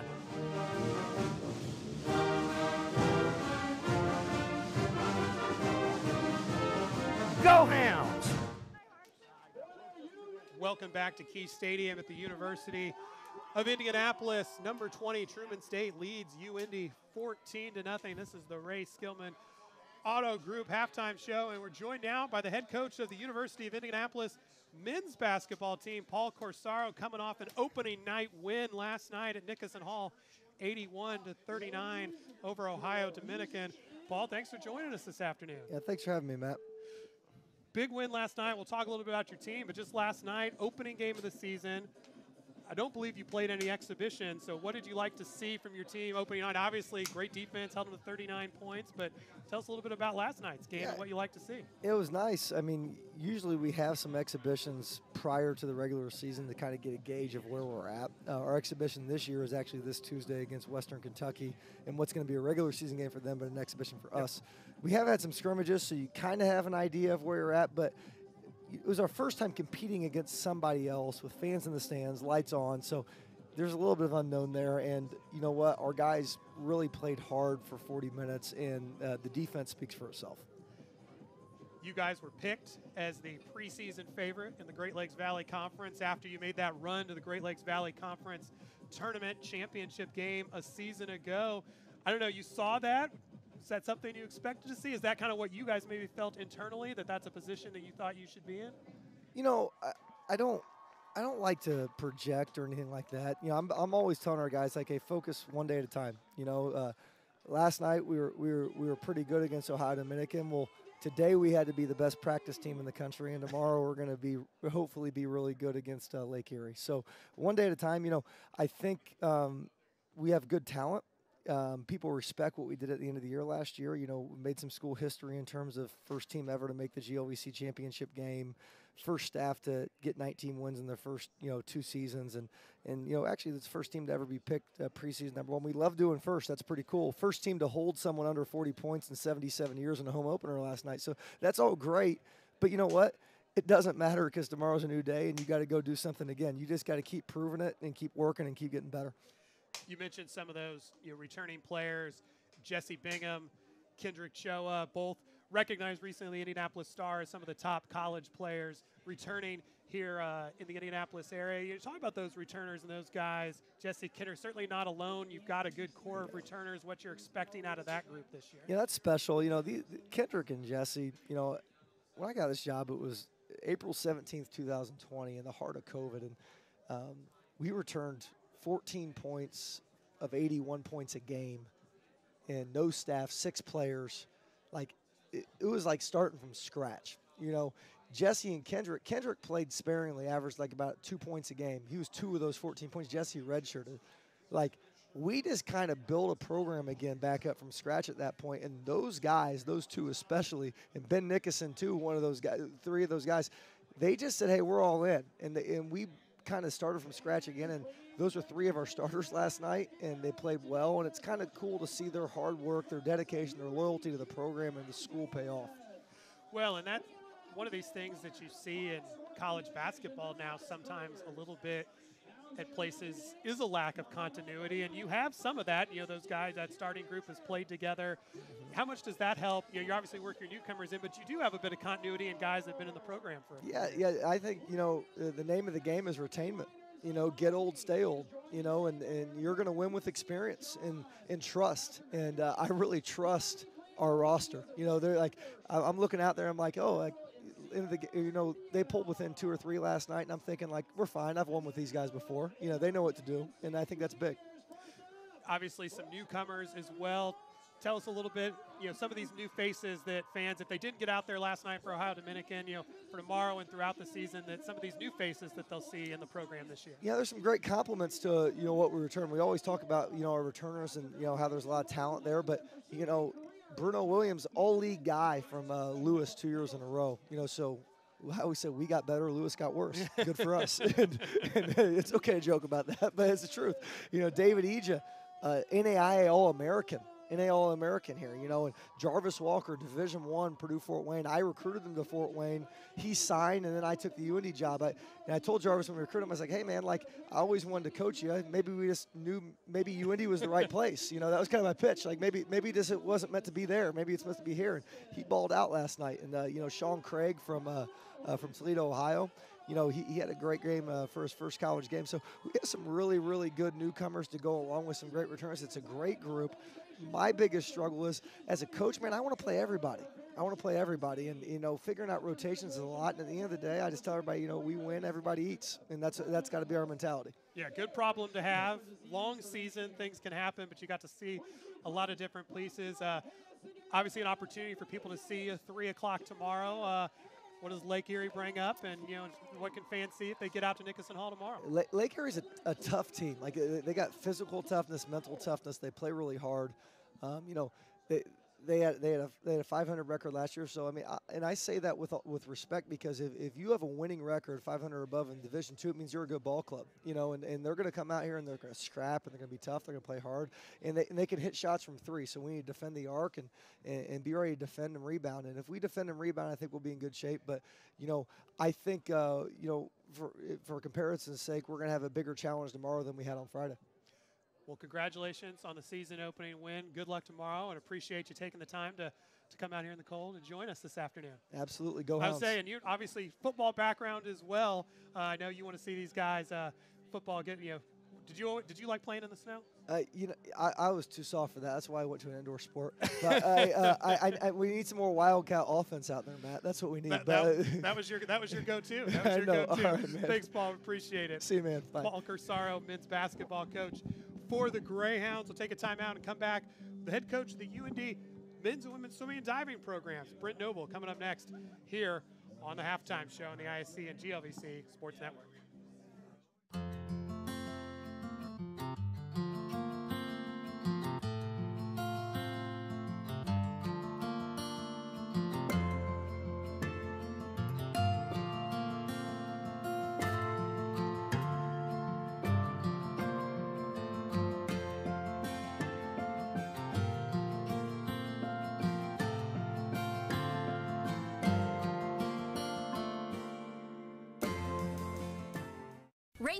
Buick GMC truck was just awarded GMC Dealer of the Year. Come see why and drive away in a new Buick Encore for just 129 a month. Lease a new GMC Terrain for only 229 a month, or get a third row Acadia for as little as 229 a month. Get your next SUV from the GMC Dealer of the Year, Ray Skillman Buick GMC truck. Two great locations, US 31 South or I 465 and East Washington Street, or RaySkillmanCars.com. This global pandemic has challenged us all. No one is immune to the profound effect that it has had on our lives and our livelihoods. This pandemic has brought many things into a clearer focus. We thrive best when in community. We treasure our freedom. We have much more that we want to see and do. There's still so much more left to experience together. At Free Enterprise, when challenges come, we meet them with new resolve and our standard cleaning and sanitary practices, we've implemented extra precautionary measures, including a new monofoil electrostatic spraying system. This same system is used in hospitals and by legacy brands like Disney. Rest assured that at Free Enterprise, we always take great pride in going above and beyond to provide you and your group with the best care and service possible. We're excited to get our wheels turning and your group moving. Reach out to our Free Enterprise team and book your group's charter today. Travel Free Enterprise, because anything else is just a bus ride.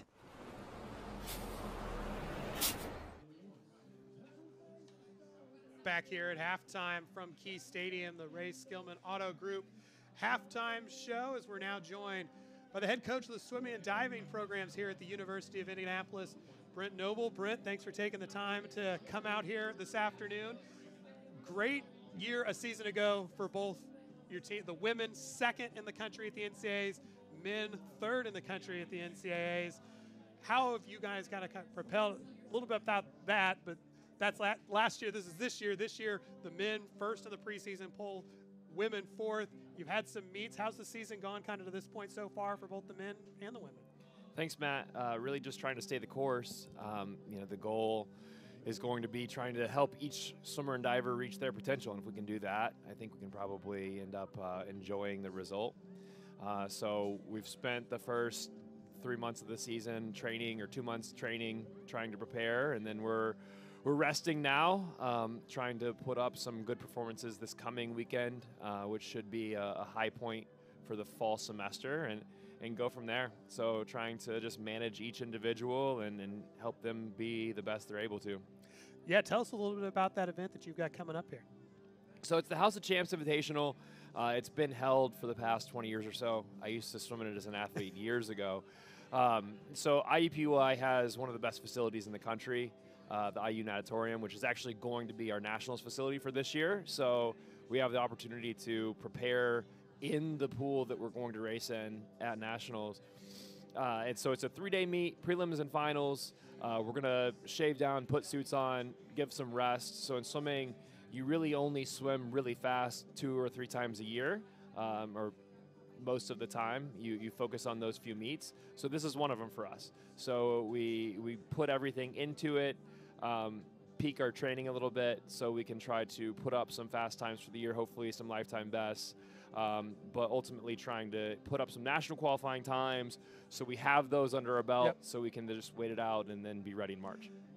What is kind of the obviously it's the bid is set kind of years in advance, but obviously the opportunity to host the Division Two national championships this year, UIndy is the, the host institution for that, to have an opportunity you know, and coming off the excellent season you had last year, you know, as you've kind of prepared preseason now into the season, kind of the, the messaging of the team and that opportunity to take, you know, an excellent team and have the opportunity to compete for a national championship, you know, here in Indianapolis and, and what you've been telling, you know, the swimmers and the divers this year about that opportunity. Yeah, it's special. I mean, we try to keep, take it all in stride. And again, you know, each step is can you be the best you're able to do? Be, are you doing your part? Um, but we, we know deep down that we have an opportunity to do something pretty special at the end of this year. And so having our team all there, all in our hometown, uh, all in a pool we're really used to. You know, we, we compete there two or three times a year at least. Uh, plus some club meets and some things through the year. So it's a facility that we are really familiar with. Um, so it, it, definitely is different. It's definitely special, but we're uh, again one step at a time. We'll get there four individual event national championships amongst 94 All American performances last year. Who are kind of maybe some of the key people on both kind of the men's and the women's side that you're looking at and names that Greyhound fans should know, maybe look out for that could be kind of that maybe you're eyeing and targeting that contention who could maybe uh, help and maybe bring home individual national championships for the Hounds in March? Sure. Yeah, it's a good question. I, I think first, really, our hallmark lately has been our being well rounded and depth. Um, I think it's it's more about what we have in every event mm-hmm. rather than this the the peaks. There are just no valleys. Um, but Cedric Büssing has has been super strong. Uh, he keeps getting better. He, he's still young. He just turned 19. Oh wow! Um, he's the junior European champion in the summer of 21, um, and then along with him on the men's side, Cade Hammond is the returning national champion in diving. And then Julio Osuna just broke one of his school records this past weekend. Uh, so really good one-two punch, and then Jason Linzo has been an All-American every event every year. Um, so great diving there. Um, really, really good sprint group on the men's side with Jerron Thompson and uh, Joao Silva and Diego Moss. We have distance along with Cedric and Christian Adine and Stas Charlotte. We have some some fifth year grad transfers uh, in the stroke events, um, and actually just grad students in uh, KL York and Bartek Federski and Likia Prima. Um, so again, it's us on the men's side. It's it's just depth. We have a lot of big hitters. Uh, women's side, our two fifth years this year are Katie McCoy and Joanna Bice. Uh, both of them are top in the country in their individual events. Uh, Katie's won a national championship before. Joanna's been second um, and has been kind of the, the class of D2 this year in the sprint events. She keeps getting better. Um, and along with her, we have some distance in Imi Colti Dumitrescu and Bina Traustadotter and Carolina Dubchikova. Um, Nailing those. I'm glad. That's why I make you talk about it. Yeah, yeah. The, the names could be tongue twisters, but again, we have swimmers from all over the world. We have Yeah. 35 countries on our team, uh, which is, is a cool opportunity to get to know cultures and bring a lot of different things in. A lot of teams in D2 are international, but very rarely do you have this many influences. A lot of times it's you know maybe you have 12 Italian swimmers or, or something like that, but we have one or two, maybe three from a lot of different places, um, which is fun. Um, yeah, so still on the women's side, we have Michaela Starr and Alexis Lumai on the boards, both returning All Americans. Um, Leticia Vaselli has been All American at least a dozen times. Um, and she's been a, a big part of those relays that have won the past couple years in the two free relay. Um, Annie Scruters is a breaststroker. She's been our top breaststroker this year. Uh, butterfly, we have Andrea Pasca. We have, and she's also been a national champion relay. Uh, we have a, a load of backstrokers in Mia Kristevska and Yulia Magarovska and Isabella Revstat, also a former national champion. So, yeah, a, a lots of names, um, but lots of, of big hitters. Um, just really trying to get everybody there. Well, Brent, thank you so much. Exciting times the University of Indianapolis Swimming and Diving. An opportunity coming up to see the team, but again, for fans of the national championship for Division II swimming and diving, hosted by UIndy at the IU Natatorium on the campus of IUPUI, March 8th through the 11th. Brent, thank you again so much for the time, and best of luck the rest of the season. Yeah, thank you, Matt. Go Hounds. That's right. UIndy trailing here at halftime in football, 14 to 10. We'll come back and get back to the football, highlight stats from the first half, and we'll look ahead to the second here on the Ray Skillman Auto Group halftime show on the ISC and GLVC Sports Network.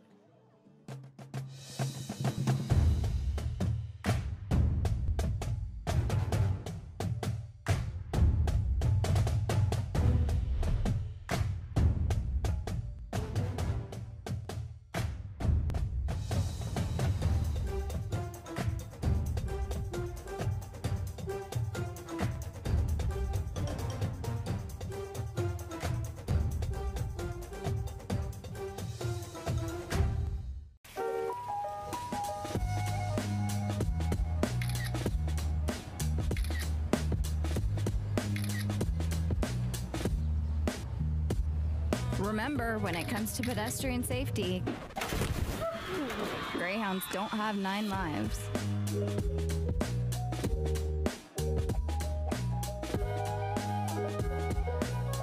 No mascots or linebackers were harmed in the making of this video. Everybody bundled up here at Key Stadium on a snowy Saturday afternoon. This is the Ray Skillman Auto Group halftime show. Matt Holmes joined by Jim Leisure as UIndy trailing Truman State 14 to nothing at halftime as we take you into our houndgear.com halftime highlights, which many for UIndy, but again, Truman could not have asked for a better opening 30 minutes here as they got it going. We see a lot of the defense here, Jim, but then Truman kind of got it going in the first quarter. Yeah, Truman has, has actually done a decent job of moving the football, and again, credit the uh, Greyhound defense for stopping some of those drives. At the last minute, you see a fumble right there. That was on the first drive of the of the game, and then uh, you know, unfortunately, the, the, the Greyhound defense was not able to stop that very short drive uh, when UIndy uh, fumbled the ball and it was re- returned basically back to about the six. This is kind of the game we thought we might see. An excellent one-handed grab by Zerwig that set up the opening touchdown by Nolan Hare going around right in. And again, more of this excellent defense, a couple of sacks. UIndy getting a sack here. Both teams getting in there, but turnovers also crucial as well. Again, just defense, the story of the game so far for especially for Truman getting it going. And here is the big fumble made on the play. Landon Donaldson and then recover. Then Nolan Hare, much like the first touchdown, this one double the yardage from six yards out. UIndy had an opportunity late getting it down the field. They threw a pass into the end zone that Logan Caney had an opportunity to break down, but was unable to. And UIndy held scoreless in the opening half and down 14 to nothing. As those are your houndgear.com halftime highlights, and we'll take an opportunity here. Check out our halftime statistics brought to you by the free enterprise system. And again, Truman maybe pass a little bit more than we thought. Both these teams, excellent rushing teams, but also excellent rushing defenses. And as you can see, the rushing defense has been critical today, as so far, Truman has allowed UIndy zero yards of net rushing. And on the season, UIndy averages 237 rushing yards per day. What stands out to you there, Jim? Well, missed opportunities. I mean, again, UIndy has had offensively. They've, they've dropped a couple balls. They've they've caught passes and, and would have had either first down yards or close to it, and then fumbled. Uh, just missed opportunities all the way around. It's not the end of the world. You're only down 14. You got a chance. And UIndy will get the ball to start the second half of play. We mentioned the passing. Nolan Hare, 10 of 16, 121 yards, and then also those two touchdown runs. His favorite receiver has been Zach Zerwig, five catches, 58 yards. On the ground, Shamar Griffith, eight carries, 14 yards. That's after having a couple huge games. As coming into this, Truman had been averaging 327 rushing yards per game of their own on the ground. But again, the rush defenses have been as advertised. For UND, UIndy, Toriano Clinton back after missing three games. UIndy's all-time leading rusher, seven carries, just 12 yards. And Christian Conklin, seven of 17, 57 yards, and has been sacked a couple of times as well. 14 to nothing. UIndy trailing here at halftime. We'll take one final timeout and come back and get you ready for the start of the second half in the ISC and GLVC Sports Network.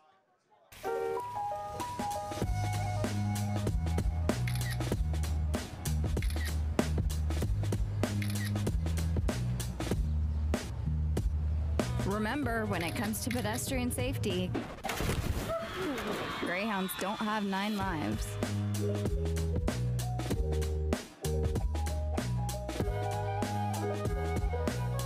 No mascots or linebackers were harmed in the making of this video. Listen, do you hear that? I get here early so I can enjoy some peace and tranquility, but not anymore. Before very long, there'll be a bunch of families here, there'll be a bunch of rugrats running around, ruining what used to be a wonderful, quiet place. But oh no, the Hound Pound Nation will be here. They'll be raising havoc. This place will be bedlam before very long. I wanted to enjoy myself and have a great peaceful moment before this game starts. But you know what? It's really worth it.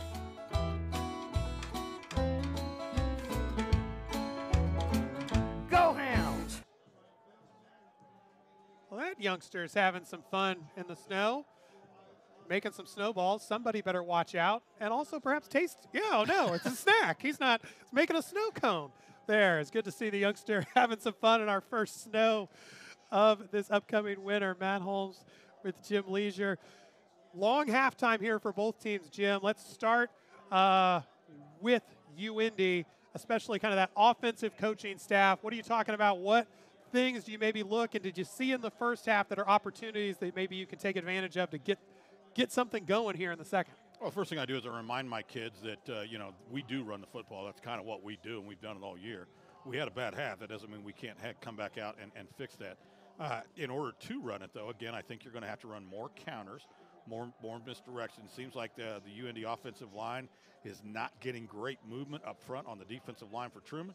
So again, what I do is I run a lot of down blocks or double teams, and then pull a guard or an H back and kick out. So block everybody left, let's say, and then bring the H back to the right, uh, and try to create a hole. Let's just make a hole. Okay, uh, and I just I, I, stick with it, and in a short passing game until I can soften this defense up just a bit. I'm not sure that's possible. This seems like a fairly angry group of young men from Missouri for some reason.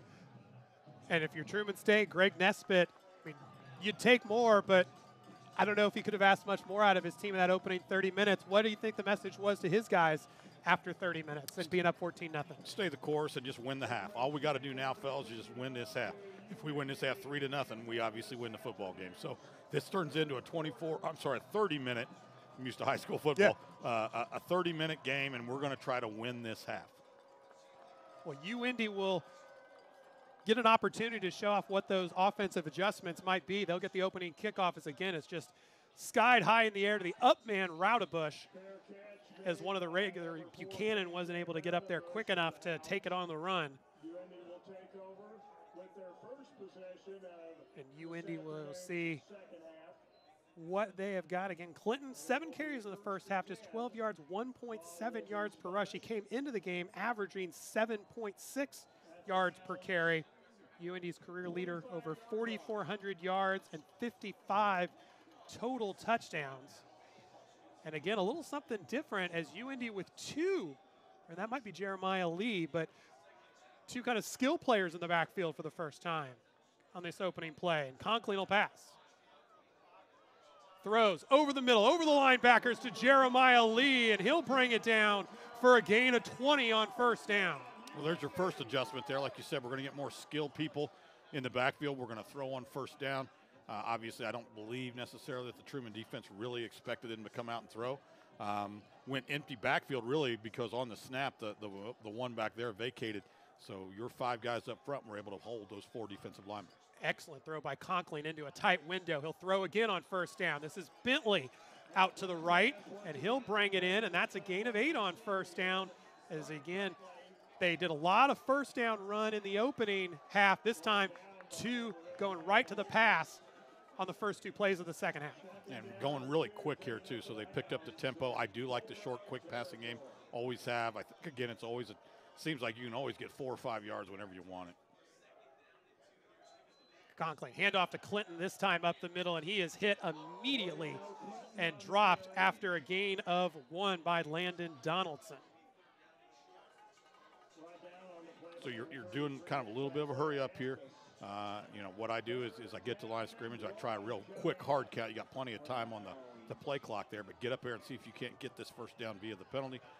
Uh, defense right now, again, is, is kind of chomping at the bit. They're not they're not happy the fact that it's third and one they feel uh, like uh, they've, they've let the coach down a little bit and they're getting ready to attack. So I think I go with a hard count, try to draw them off sides. Four man front. Buchanan in the backfield for the Hounds.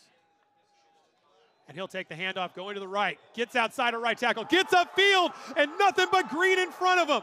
One man coming from the corner. Hits Buchanan. It's going to knock him out of bounds. Touchdown saving tackle by Ryan Olivas as Buchanan is brought down at the one yard line after a gain of 46. Well, you see an excellent seal block there by number 76, Ryan Ritchie, uh, along with uh, another one. I, I think I, I, couldn't get a number on. I believe it was either 63, Zachary uh, Clark, uh, or 61, Kednell Alexis. But two great seal blocks and a huge hole, right? I mean, we're not docking the space shuttle. When you block, good things happen. Empty backfield for Conklin on first and goal from the one. And he'll hand off to Lee. Lee looking for room. He'll bounce it off left tackle, and UIndy takes it down the field on the opening drive of the half and gets on the scoreboard for the first time on a one yard touchdown run by Jeremiah Lee.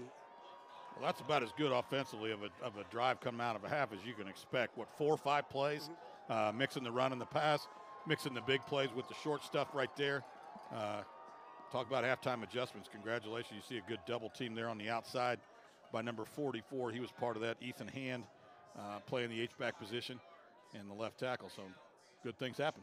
Extra point by Seymour is up and good, and UIndy is on the board, and they have cut the deficit in half, 14 to 7. Here from Key Stadium on the ISC and GLVC Sports Network.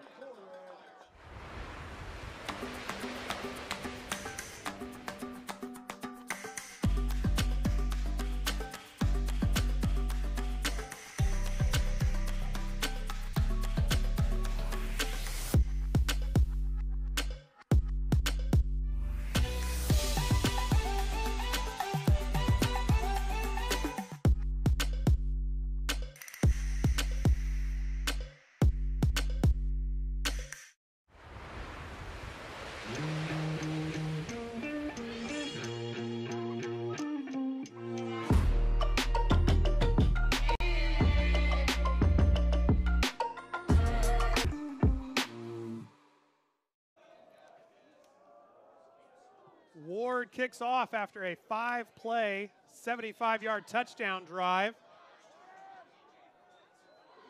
Flint will field the kickoff and bring it up past the 30 before he runs into a scrum. Five play, 75 yard touchdown drive for the Hounds. Jaquan Buchanan with the 45 yard run, and then Jeremiah Lee finishes it off. But again, I mentioned Jim of the break a play. I've seen a lot of UIndy football this year. Haven't really seen where they've used the slot wide receiver and an empty backfield with a straight handoff, catching Truman off guard for the one yard touchdown run. And a huge change in energy now on this UIndy sideline, it appears. Well, let's see if the defense can sustain that energy. And again, that they did not play poorly in the first half, so it shouldn't be that hard for them to keep up the pace. Hare under immediate pressure, and he is dropped by Aaron Barnett. Borski got there first. Hare spun away from him, and then Aaron Barnett finishes it off with his fifth sack of the season. Coach Keevers and defensive staff bringing the heat here, just bringing more than they can block, and you're just simply outnumbered. You got a hold there that uh, you know you would have declined anyway. Uh, but yeah, just bringing more than they can block. Now, defensively, they made a nice adjustment on Zerwig in the first half. He, he caught five balls and they finally shut him down. So it looks like they've made a few other adjustments here defensively. Second and 21. Handoff to Griffith down the left, and he fights forward, but he'll just get back to the line of scrimmage after getting hit a couple yards deep in the backfield. I think that was Borski again who initially hit him. But now to be third and 21 and a ton of energy now is a lot more bouncing around on this near sideline for the guys in black. Yeah, it's definitely Kyle Borski there, gets great penetration. Now here's the deal. And, and, again, as a coach, it's just the coach in me. I say great penetration now, two plays in a row. Now we got to dial it down a little bit because we don't want to get caught on the middle screen. You can't run past the, the middle screen guy. Griffith stays in as the running back. It'll just be a straight handoff to him up the middle with a little bit of room to run. He gets 11, but he needed 21. A conservative play call on third and 21, and Cornish will come in now to punt. UIndy answers. Touchdown on the opening drive. Defensively, a three and out on Truman's drive, and the Hounds will get the ball back after this punt by Cornish. Yeah, and definitely a conservative call by Coach Nesbitt, as you said. Uh, saying, you know what, guys, we're just going to punt it. We're going to try to regroup over here, see if our defense can't come out and help us. Cornish averaging 44 yards per punt. And he gets away another spiraling kick. Derrick has to catch it over the shoulder, and the momentum of the punt takes him out of bounds at the 14 yard line. That is where UIndy will take over for their second drive of the third quarter. Yeah, the 14 is not a bad place. You know, there was a long time in football where, you know, everything was, you know, getting people, pinning people inside the 20. Now that's become the 10. And uh, you're going to see some uh, the whole drive here from University of Indianapolis last time, and there's the big run. As Buchanan getting down had a lot of success last year. As in this in the game last year, Clinton was out against Truman at the end of the season last year as well, and Buchanan rushed for 94 yards on 34 carries against Truman last year. So he's had success in this matchup. Play action. Quick throw out to the left and too low for Derrick to hang on. Conklin just kind of didn't get it high enough, and it got through the hands of Derrick on first down. But again, doing what you were talking about, quick throw, trying to get some yardage. Unfortunately, Conklin not able to execute on that throw a little low, and it'll be second and 10. Yeah, don't let the result basically confuse the idea. The idea was correct. It just, you know, human beings don't always execute, and that time Conklin didn't.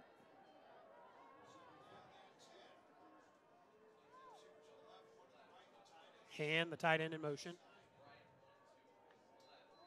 Conklin. Throw quick out to his left to Derrick, who tries to spin away, gets away from the first man, but some help is there.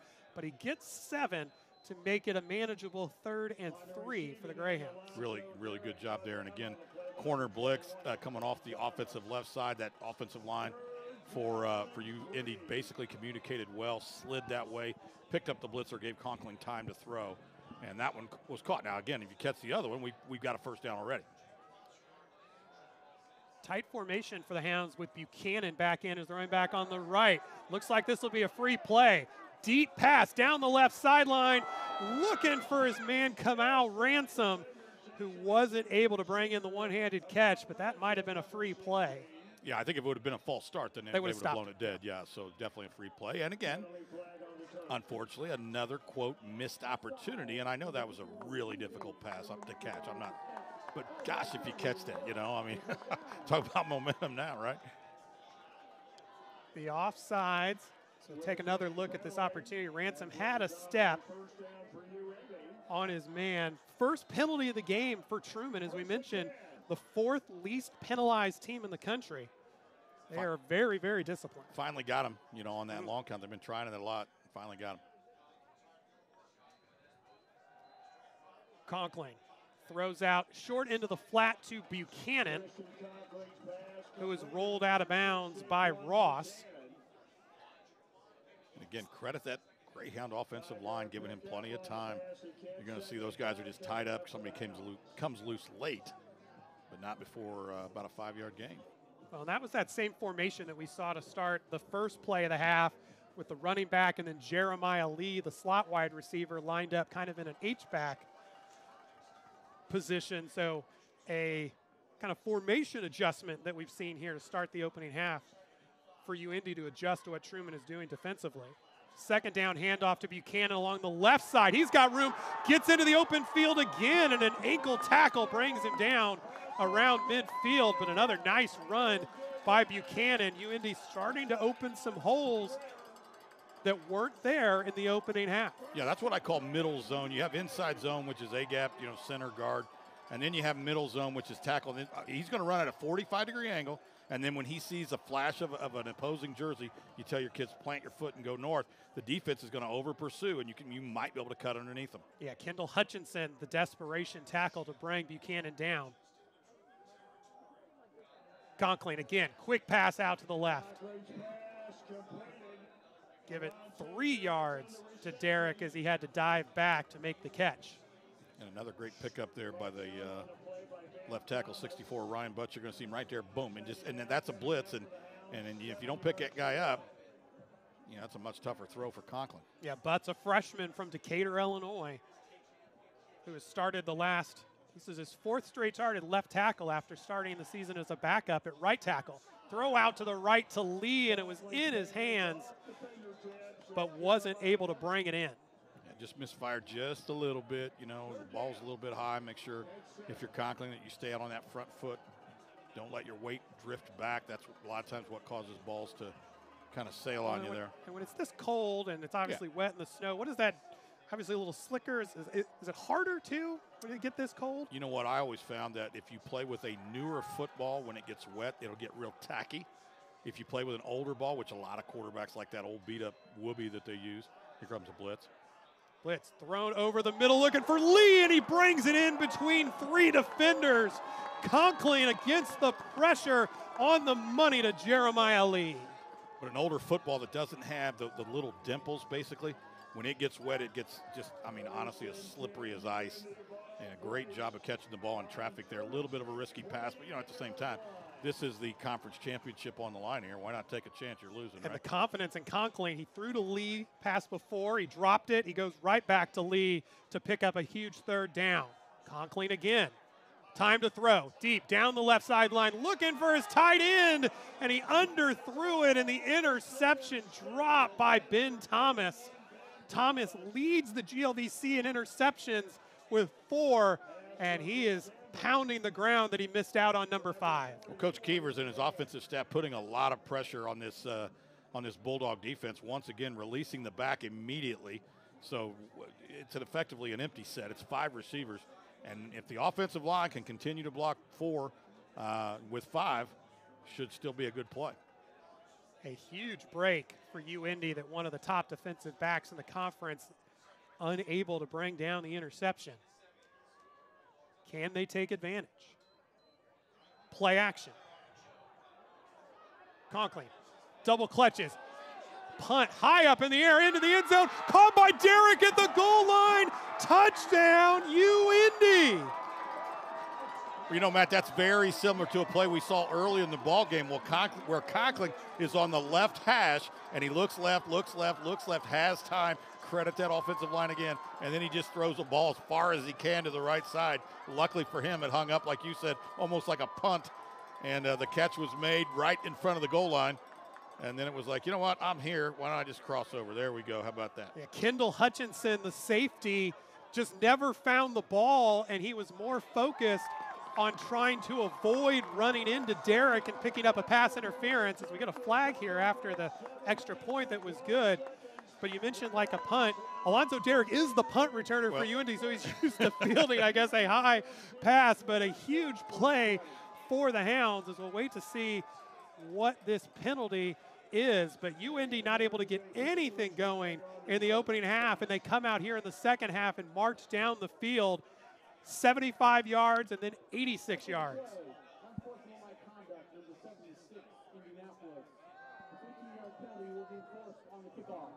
So unsportsmanlike conduct on Ryan Ritchie, and it'll be enforced on the kickoff. 10 play, 86 yard drive, 29 yard touchdown pass. Christian Conklin to Alonzo Derrick, and the Hounds are in business as in the first half, UIndy, as we mentioned, not able to get a lot going for UIndy. Oh, that's after, excuse me. The halftime one. Sorry about that, Jim.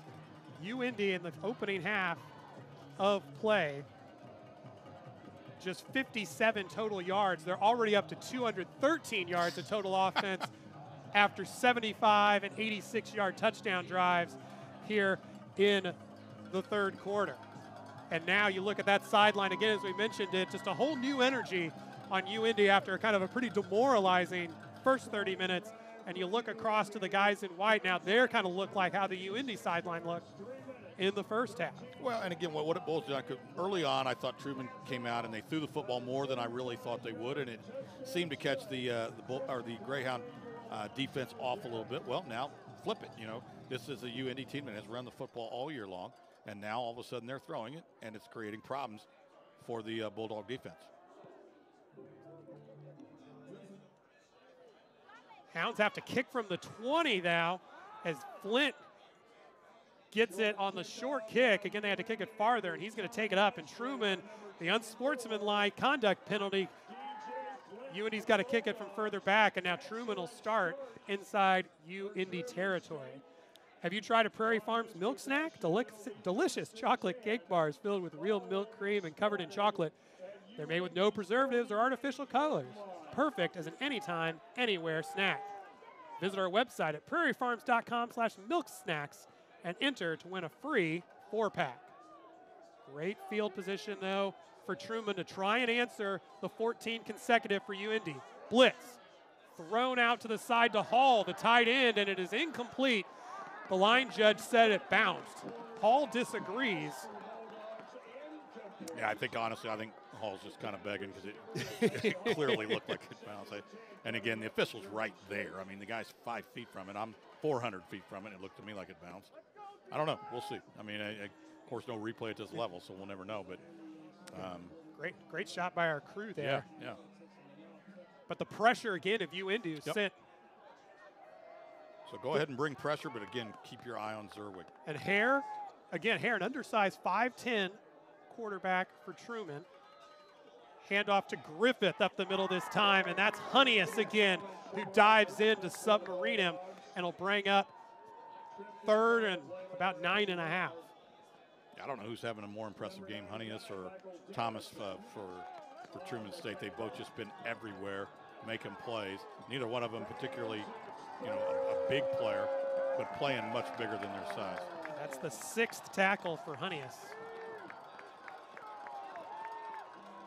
Can hear the cowbells. UIndy trying to get this crowd into the game to go along with the sideline.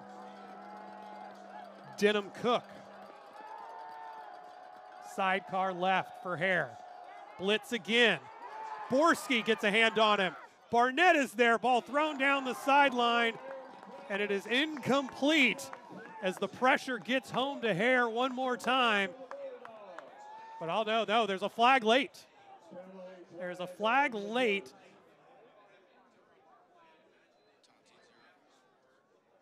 This might be an after the flag penalty, which again may, may still make it.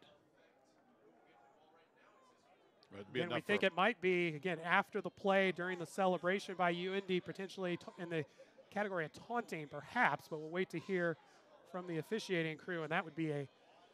You want to have enthusiasm and excitement, but it's got to be a little bit controlled. Let's wait and hear what this penalty is here. Truman was pointing at UIndy. After the play, unsportsmanlike conduct, taunting, zero of the defense. Landry Mavungu called for taunting, and after a huge play by you, UIndy, he was there with the coverage.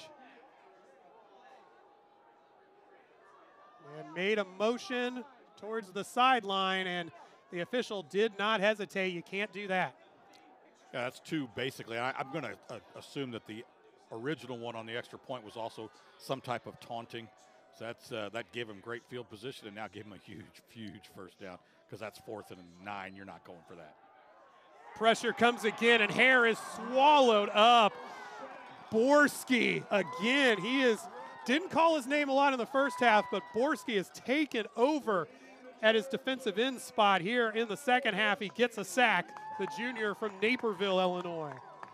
Yeah, again, just I, I don't know what happened to the offensive line uh, for Truman, whether they're, you know, the starters went home and thought it was in the bag or what, but right now they are just getting mauled by this defensive front. Now, Indy is bringing five, more than their typical four, and, and, and sometimes six uh, which is outnumbering them at times because now you got a little bitty running back trying to block one of those linebackers. Probably not going to happen. Um, really impressive right now by this front six, I guess, for UIndy. Short pass by Hare is caught. No, broken up by Zerwig as he was hit from behind by Michael Brown to break it up, and it's going to be another third down, third and long. And not that you lose him in these, but we maybe haven't brought it up, but towards the end of the first half, Colin Sutton, the backup quarterback that Truman would use as a change of pace, as a runner, he got knocked out of the game in the first half. So, and they used him a few times on these second and longs to try and get some of that yardage back. We have not. He was carried off the field and has not been back. So UIndy has not had to uh, make that adjustment for them moving quarterbacks in and out of the game. Yeah, and if you're Coach Keevers, you're saying now we're playing even. My guy can't run very good. Yours can't either. And a late flag maybe in the position of delay of game. Did they not get it off in time? No. False start is the call.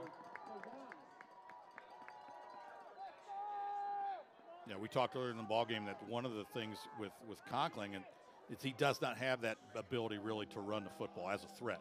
He can run it as a scramble and maybe keep a play alive and stuff like that, but you're not having to devote a defender to him. All right, and now, right now, neither is you, Indy, for Hare because Hare doesn't seem to have any desire to run it either. Well, it just hasn't. The pressure has gotten there almost too quick for him to break any time of contain it. Just a three man rush this time for the Hounds. Thrown over the middle, and it is caught close to the sticks by Tate Crane. It's going to be, look, based on the spot, it looks like it's going to be fourth and one. And it is going to be fourth and one, but what a throw by Nolan Hare to Tate Crane. And this is about the fourth or fifth third and long that uh, Truman has converted against the UIndy defense. Just unfortunate. You play so well and you do everything you, that, that, that, you want as a defense. you're getting pressure on the quarterback, you're sacking, you're getting TFLs, tackle for losses, and then you just give it up on third down. Well, they went conservative that time with only Yep. a three-man rush. Truman, we mentioned, one of the best in the country, nine of 10 on fourth down this season. This is their first attempt this afternoon. Hare just to run it straight ahead into the line. Did he get it? UIndy doesn't think so, and based on the spot, it looks like the Hounds have held and stopped Nolan Hare on fourth down. Well, the head linesman, the guy on the other side, would before he came in to spot it, First down, UIndy. he went in. He came back, and that, that's not a good sign if, if you're wanting yardage to be picked up. So, hats off to this defense, man. They're just doing, you know, all they can. They're not necessarily mauling people. But see, this is Hare's. I mean, and I, I understand what you were saying earlier. You know, he hasn't really had time to run. I don't even think he really wants to run. I mean, that's just not his game. His game is to throw the football, roll out, you know, RPOs and that kind of stuff. That running stuff for the other kid. Well, it, and that's maybe an opportunity. That's a play on fourth and one that Sutton maybe comes in to Oh, run it. He's out of the game. That's Yeah. a Sutton package, and they run it with Hare, and UIndy gets the huge stop. Conklin will roll to his right on first down, looking, looking, and he throws it out of bounds as he was planted, and we're going to get a roughing the passer. Alex Delvecchi, he was there on the pressure. Conklin smartly throws it away, and then he was planted. And the referee immediately threw the flag in the area, what I think is going to be roughing the passer. I don't think there's any doubt. And again, what a really boneheaded play. That's just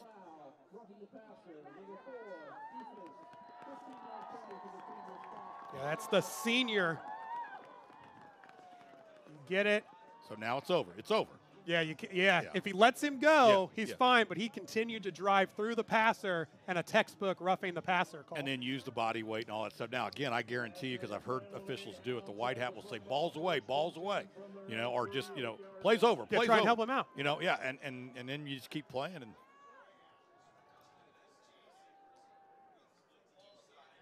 Conklin. And he is going to get immediately hit and dropped as a little bit of pressure with the blitz from Truman that time and Peyton Carr on the strong safety blitz. Yeah, and a little bit of a miscommunication here because nobody picks him up. Basically, you sent everyone left. You saw the back go left. You saw the line go left. Can't do that. You know, we can send five of them left and bring one of them back, but you can't send them all that way. Well, and he got hit blind, and a Yeah. good job by Conklin to somehow hang on to that ball, getting hit from his blind side by Peyton Carr.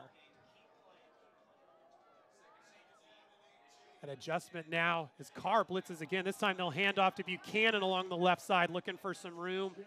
He'll get maybe five. Again, that kind of uh, middle zone there. The, to me, there's, there's three kinds of zone running plays. You have the inside zone, then you have the tight end zone, which is what I call middle, and then you have wide zone or stretch where you're really trying to get to the numbers. And uh, that was uh, ran into the, the boundary there, the short side of the field. All they're trying to do is just get some forward yardage there. Typically on a middle zone, you're hoping to get four or five.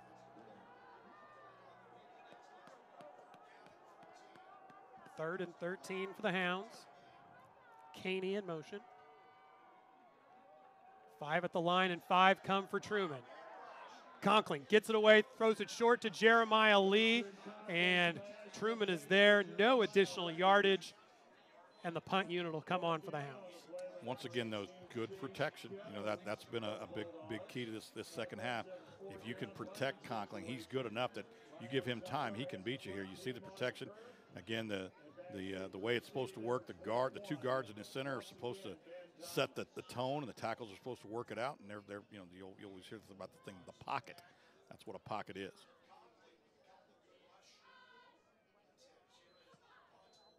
Zoller high punt, plenty of hang time, and no return for Ben Thomas. Truman finally gets a stop after UIndy scores on its first two drives of the third quarter.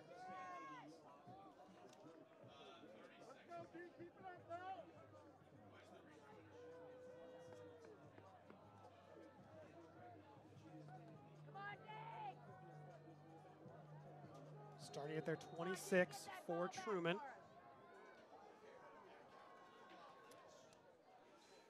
Hounds send a blitz again, looking to break it up on a run blitz, and I think that was Honeyus again. Excuse me, that is Schulte, Schulte, the linebacker, who got there that time to drop him for a loss of three. I think both of them came though, Honeyus and Schulte. Yep, you see Honeyus right there. He gets held. My gosh, he got held. he gets held. Uh, but yeah, you, and again, when, when you blitz on first down, you, you can certainly run blitz and, and be disruptive. You're, you're you're just outnumbering people. Now, if you have a team that likes to pull people, that disrupts the pulling guards, it disrupts the H backs. Uh, so run blitzes can be very effective as well.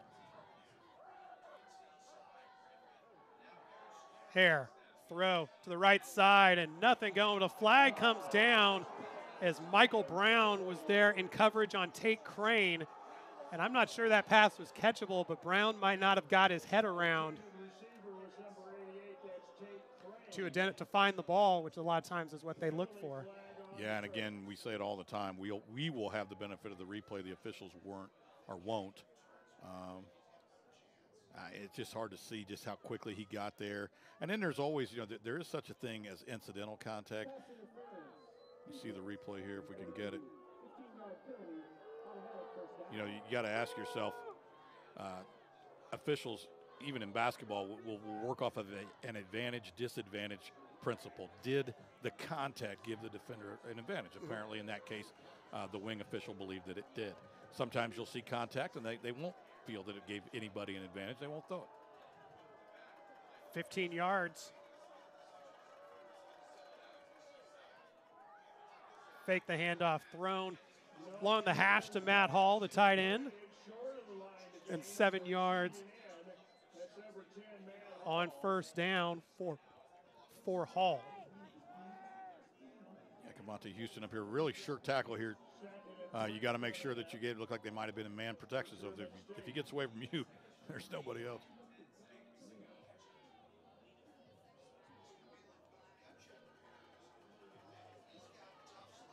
Denham Cook is in as the running back now, but again, see if Truman goes back to the run on a second and short. Play action again. Hare looking to his left. Now he's going to go back to his right. Looking for room to go. Gets by Honeyus. Gets upfield, and he'll pick up a first down on a nice bit of nifty scrambling by Hare. Well, just again, it looked like there was a whole lot of grabbing up there on the offensive line, and, and I'm an offensive line coach by trade, and but uh, you know you could just tell when kids are being held, they're getting turned inside out, they're getting spun around. Um, that's hard to do when you're behind a guy without holding.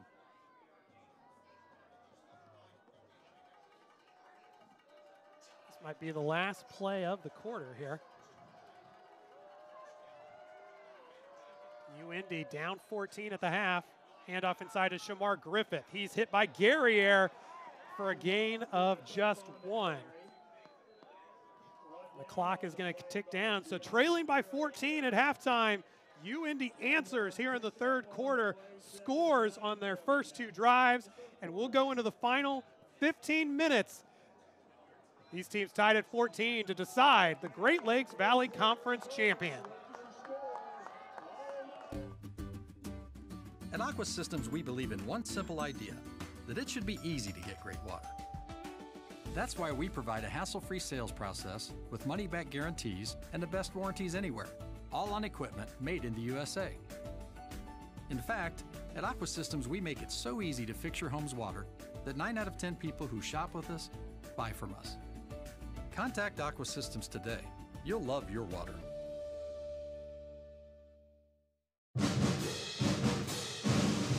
Back in my day, we didn't tailgate. We stood in the rain for three hours watching the grass grow, and we liked it.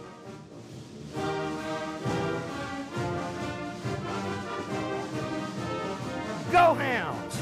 Ray Skillman Buick GMC truck was just awarded GMC Dealer of the Year. Come see why and drive away in a new GMC Acadia for as little as 229 a month. US 31 South or I-465 and East Washington Street or RaySkillmanCars.com. Great view of Key Stadium in this game to decide the Great Lakes Valley Conference Championship. Number 14 UIndy, number 20 Truman. Both teams 8 and 1. Both teams 5 and 0 in the conference. Winner is conference champion. winner goes to the NCAA Division II National Championship playoffs. And how appropriate is this? Tie score, ball at midfield. That's right. Right. Nobody really has. I mean, obviously Truman has the football, but it's right in the middle of the field, man. No advantage. 15 minutes. Who wants it? Second and nine. Hare deep down the left side. He's got his tight end, Hall, for a big gain inside the 15 yard line. There's a flag on the field, and it is in the area of holding. And I, again, I, it, and, and, I'm not rooting for anybody, right? I don't care who wins this game. I really don't. But it, it does appear to me that the, the, the guys in the white and purple have been just grabbing. John Saxberry, the junior from Monroe City, Missouri, he was back behind the play talking to the referee. As finally, if you're a UIndy fan and probably has been looking for that, they get it. So a big gainer to Hall inside the 15, called back on the holding. This would be. See the replay here. And I really didn't see much. Um, but uh, what it boils down to again is it's just been going on and going on. The officials a lot of time will say, "Hey, 52, you know, do this or do that," and if you don't do it, they're going to flag it. Four-man rush, deep down the seam again, looking for the other tight end, and broken up. Schulte breaks it up as he was looking for Chris Kerr. As Truman definitely looking for that advantage of the big tight ends, Hall and Chris Kerr against the linebackers. That time, Kerr not able to get the separation, and Schulte, good job to not pick up a penalty and break it up. Schulte's really all over the field. Obviously, he's downfield in the secondary. Uh, there was a previous play when they were right before the end of the third quarter where he came in from his linebacker position and literally just eliminated another human being off the face of the earth, just blew him up. Well, and asking a lot, these linebackers who, yeah. Again, Truman a little bit unique. You don't see a teams feature Division two, a lot of two tight end offenses where you're throwing a lot to the tight ends. Hand off to Denham Cook.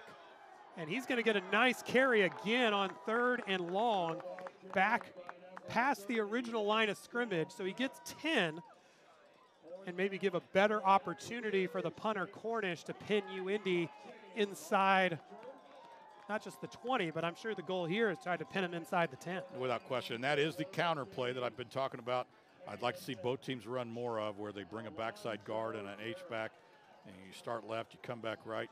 You got a kick out block and a turn up. You got to have that kick out block. That's the key. And they get a timeout.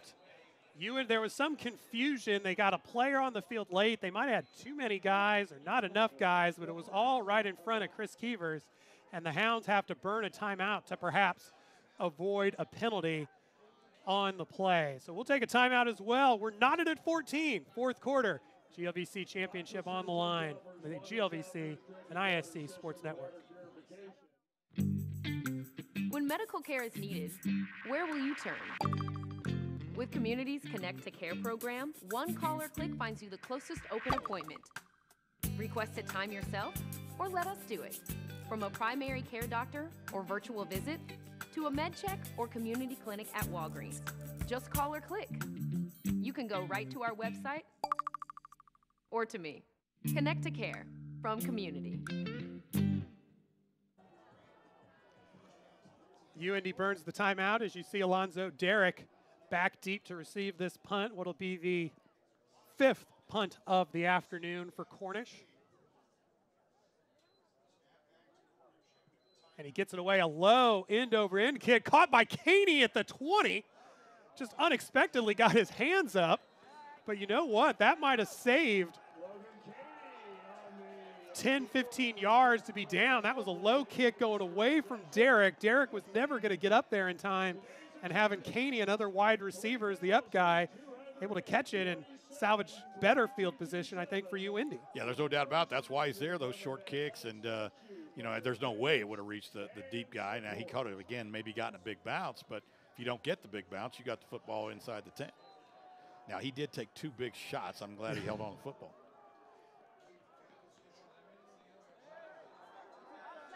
Offsides, deep pass down the right sideline, looking for a man, and it is thrown too long for Ransom. As we're going to get offsides on Truman, it appears. That's Greco called for offsides. It'll be first and five for the Hounds.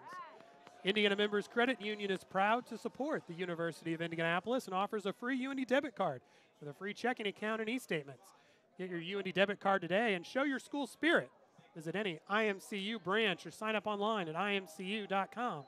Membership savings required, federally insured by NCUA. First and five for the Hounds after the offsides on Truman.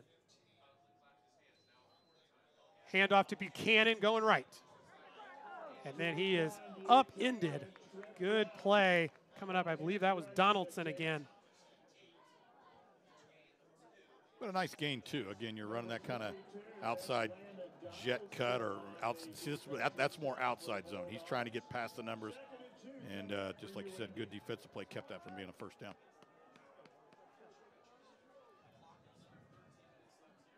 13 minutes remaining here in the fourth quarter of a tie ball game. Play action this time. Conklin rolling to his left. Needs to find somewhere to go. Now back to his right. Steps up in the pocket. He's got a man wide open. That's Buchanan along the sideline. And what a play by Conklin to keep the play alive long enough to bring it all the way back to what had to have been his fourth or fifth option on the play in Jaquan Buchanan. And what a play by Ethan Hand. Yeah, Conklin gets off. Look at look at Hand just. I mean, if he's not there, just hustling, just being a pest, Conklin gets killed. I'm telling you, Conklin owes, owes him a beverage, a Coke or something. Yeah, hand to the tight end, going there, holding off Jack Weltha. That's a defensive end against a tight end, and gave him the time he needed. And hand, I think, has played pretty much exclusively. I don't think we've seen McNeilis, the other tight end. Jet sweep to Lee, cut it upfield. Now gets to the outside and upfield and past the first down marker on a big run by Jeremiah Lee. Got a nice block. I believe that was Ransom, the wide receiver who helped open it up along the left side. Yeah, it definitely was. And again, you're going to see a nice kick out block there. Boom. All right. And again, don't hold deck. Going to get those hands inside. uh, but a good kick out block. And that's outside zone. That That's getting to the perimeter. You're just everybody's blocking one And you way. talked about that in the first half. Get these skill guys Yep. out in space Yep. and speed and take advantage of the width of the field.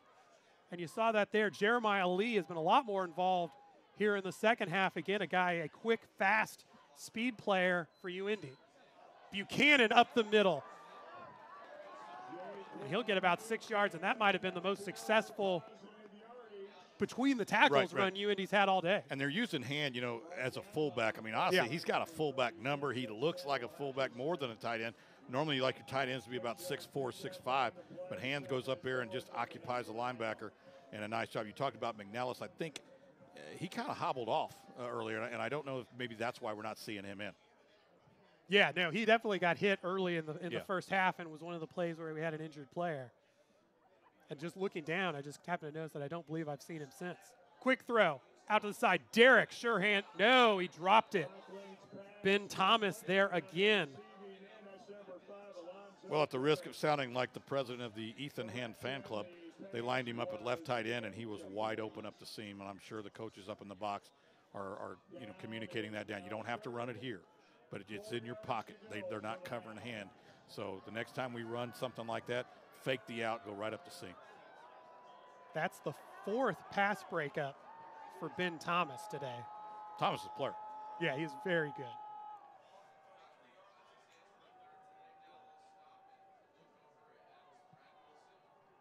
Potentially too far to kick. This could also maybe be four down territory. Handoff to Buchanan, going to his right. Looking to get it outside, and a huge open field tackle by Peyton Carr to drop him for a loss.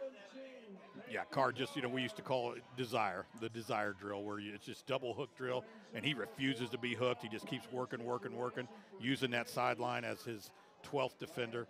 Uh, hats off to that young man. That's a really, really big time play. Yeah, and you get the loss, and even though you're inside the 40, this has kind of turned into a defensive field position game. Do you like this here to kind of still punt in this situation You at know, fourth and eight? I don't know with the, with the time and, and, and the, the, the, the game being so big. I mean, again, I just don't know you're going to gain much. This is going to be key. and it takes a great bounce, dies in the snow, and is going to be downed at the five yard line. So plus 33. So yeah, certainly. I mean, again, if you'd have told me, but we're going to down it on the three, I, would go with it. Yeah, well, it's fun. you know, but you don't always get that. Sometimes the ball, you know, goes out of bounds at the 22. Well, you end up with a plus 11. Well, I think the run on third and five too was probably thinking that you were willing to go for it on fourth down there. Yeah, but then the loss. But then you pick up a loss, and Zoller celebrates his outstanding punt. He's had a nice game. Yeah, by far the most action that he's seen yeah. in his young career. The freshman from Louisville, St. Xavier High School. And I know right here, you know, it, it, it, it's high risk but high reward. I bring pressure. You know, I, I put my guys in man. I said, I'm just hoping mine's better than yours, and I bring pressure. And sure enough, they do, and it's a handoff instead. Griffith spins away. He was hit at the line and gets a nice positive gain before being tackled by Guerriere. They were thinking it. They brought that yeah. kind of run blitz again, and Griffith snuck through. Yeah, and again, like I said, it's high risk and, and, and high reward. If you know, if you get it, you know, you tackle the ball carrier right there at the one yard line. If you don't get it, and we don't, and they don't get that tackle right there, he goes 98. So, um, yeah, two got two guys hit him at the line, and Griffith again listed at 5'5", 150. Had the low center of gravity to get away. Fake to Cook. Thrown out to the right and too short, looking for Noah Copeland. Long throw out to the wide side of the field and wasn't able to get it there. Kind of taking a page out of the UIndy playbook there where you roll left, throw right, all the way back across the field, and oddly enough, the ball ends up short. Third and four for Truman. They bring Kerr, Chris Kerr, back into the game, along with Matt Hall. So they have both of their big tight ends. Kerr, three to the left, and then Matt Hall is on the line, tight end next to the left tackle. Nobody in the backfield beside Hare. Harry looks left, throws, and it is caught, and they immediately signal that it's a first down. Wow. Sure-handed catch by Hall. Looked to me like the stick was just slightly beyond that white line, and the ball is being put right on the white line. So, kind of a quick call, but yeah, and you know, I started to say before the we're going to see. I guess the sticks right on the white line, although you could argue that the ball never really got there. Uh, you know, you can't give up a big play there if, if you're UIndy's defense. If you give up the first down, you're still good. They, they still got to go 85 yards, but you don't want to give up the 40 yarder. Hand off to Griffith again. Gavon, the corner comes up. Schulte wraps him at the line. No gain. The clock has, clicked, is ticked under nine minutes remaining. Again, these teams have been involved in plenty. Even though UIndy leads the all-time series eight to one, there have been plenty of close games, including last year, which was a 13-10 UIndy win in Kirksville. Now, two really good programs. I mean, that, that's what it boils down to. You're not talking about football teams here. You're talking about programs. Hare looking to throw. Ball is loose, and they're going to say deflected and call it a pass. Honey has hit him as he threw, and it'll be third down.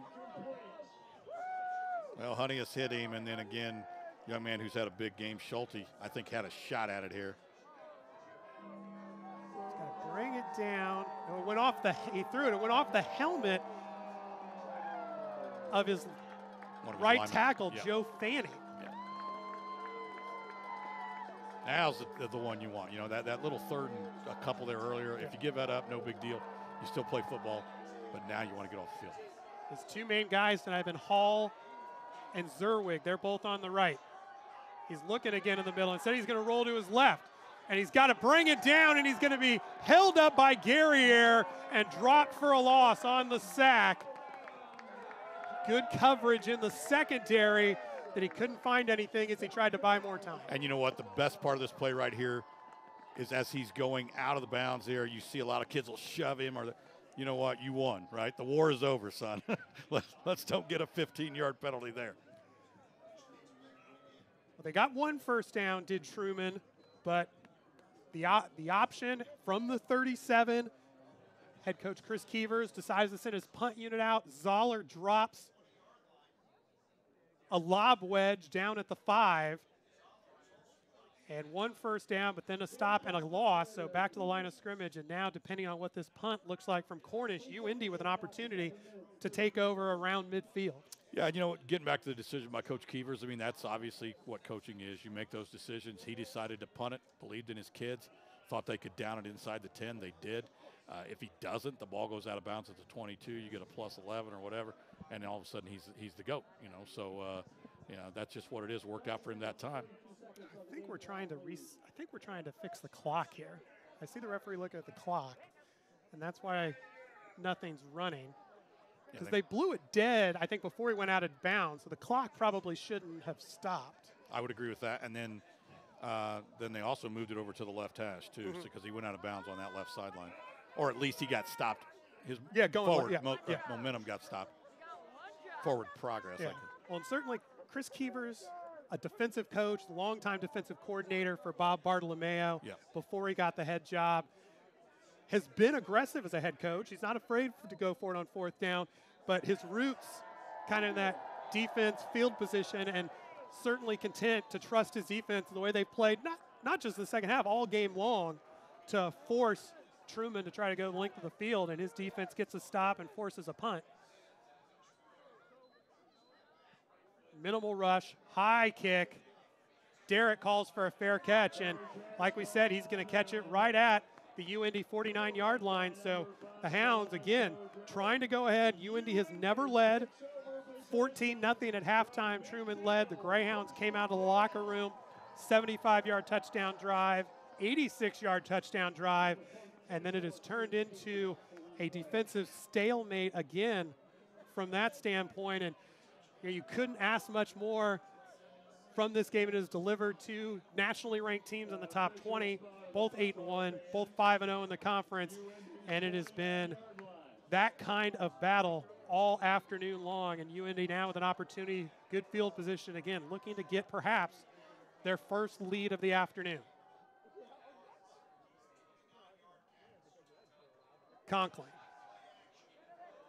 A little time, throws deep, looking over the middle of the field, finds Derrick. He's got it into the end zone. Touchdown, Greyhounds.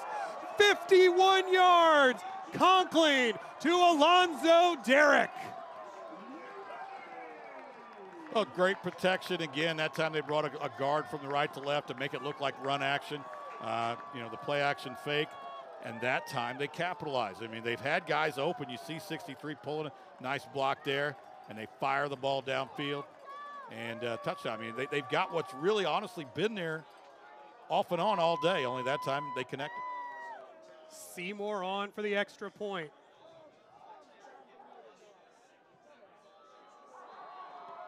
And he remains perfect on the year, 50 for 50. And the Hounds are on top, 21 to 14 on the GLVC and ISC Sports Network.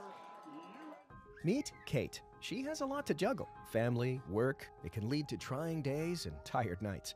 But we know Kate, and at Indiana Members Credit Union, we know at some point her space at a premium life may change. IMCU is here to help Kate and you find your space. Now, add on or remodel with an introductory rate of 1.9% APR on a home equity line of credit. Today, it's all about Kate. Tomorrow, it's all about you. Because at IMCU, it's you that matters. Brad Wilson, offensive coordinator. All it took was one play. UIndy has been a run team this season, but they have gone to the pass here in the second half. And his quarterback, Christian Conkling, delivers one play, 51 yards to Alonzo Derrick. Conkling up to now 221 yards passing on the afternoon. Derrick, eight catches, 123 yards, and two touchdowns to put UIndy in front, 21 unanswered in the second half for the Greyhounds. Yeah, you got to adjust. Obviously, in the first half, uh, Truman State did a fantastic job of stuffing the run. So you say, you know what, we got a guy throw a little bit. Why don't we see what he can do? This will be returned from the 10 by Flint. He is spun down after a nice return to the 35 by Jalen Wilson. Help UIndy Athletics continue to succeed by giving to the Greyhound Club. Your support enables UIndy to compete at the highest level. Visit getinvolved.uindy.edu slash Greyhound Club dash gift to make your gift today. You know, Matt, a couple years ago, I played in the Greyhound Club uh, golf tournament. Uh, I was so bad they asked me never to return. Oh, They no. said, "Well, we don't even want your money. You're so bad. It's a scramble. You got three other guys. I'm still Hare on play action. He'll throw it down the left sideline. And excellent coverage. Copeland unable to bring it down. Jalen Gavon, redshirt freshman from Plainfield, Illinois, there on the play. He was expected to be the starter in the preseason, then was injured, but now he has played a lot here today opposite Landry Mavungu. Excellent coverage there. He just had inside leverage and just was able to swat the ball down at the last second.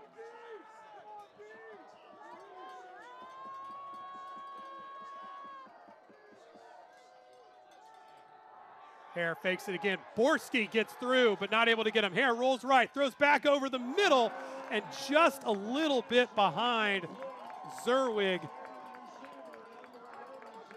Sets up third and 10. Yeah, if Borski gets there, I I hate to think uh, what kind of physical damage could have been done there. You're going to see on the replay here. And again, he's supposed to have outside contain, which he does give up because he committed. Uh, but then again, really nice secondary play there to bust that up. Borski, Shelton, Aaron Barnett will be the three down linemen as the Hounds go to their 3 3 5 package that they'll trot out on third and long defensively. Hare holds. He'll step up in the pocket, looking to run. Gets upfield, past the first down marker, and he needed 10, and he gets 20 on an excellent scramble by Nolan Hare. Just great awareness. You know, as quarterbacks, you go back to pass. Uh, defensive linemen are taught to go inside hip, and that time Borski goes too far upfield. He sees that immediately. I mean, honestly, it looks like the Red Sea when it happens, and just go get it. Just go take it. Yeah, they tried to run him kind of on that fourth down play earlier. You know, the direct play, not his go, but when he is within the confines of a passing play and scramble, he is more than capable of getting it upfield. He has both touchdowns today rushing. Quick throw over the middle to Kerr, and he's not able to bring it away. Michael Brown and Cavante Houston, the safeties, sandwiched him to prevent the catch. Well, if you're a defensive lineman, basically the four of them, they're coached. The two defensive ends are supposed to go to the upfield shoulder of the quarterback, do their pass rush move, whether it's a bull rush, rip, swim, whatever, and but but have a, an angle at the upfield shoulder. The two interior linemen have the inside hip, and if one of those guys goes too far, again, unfortunately for a defensive line, it just really looks like a huge hole for any quarterback. And a lot of them will say, you know what, I'll take it, thank you.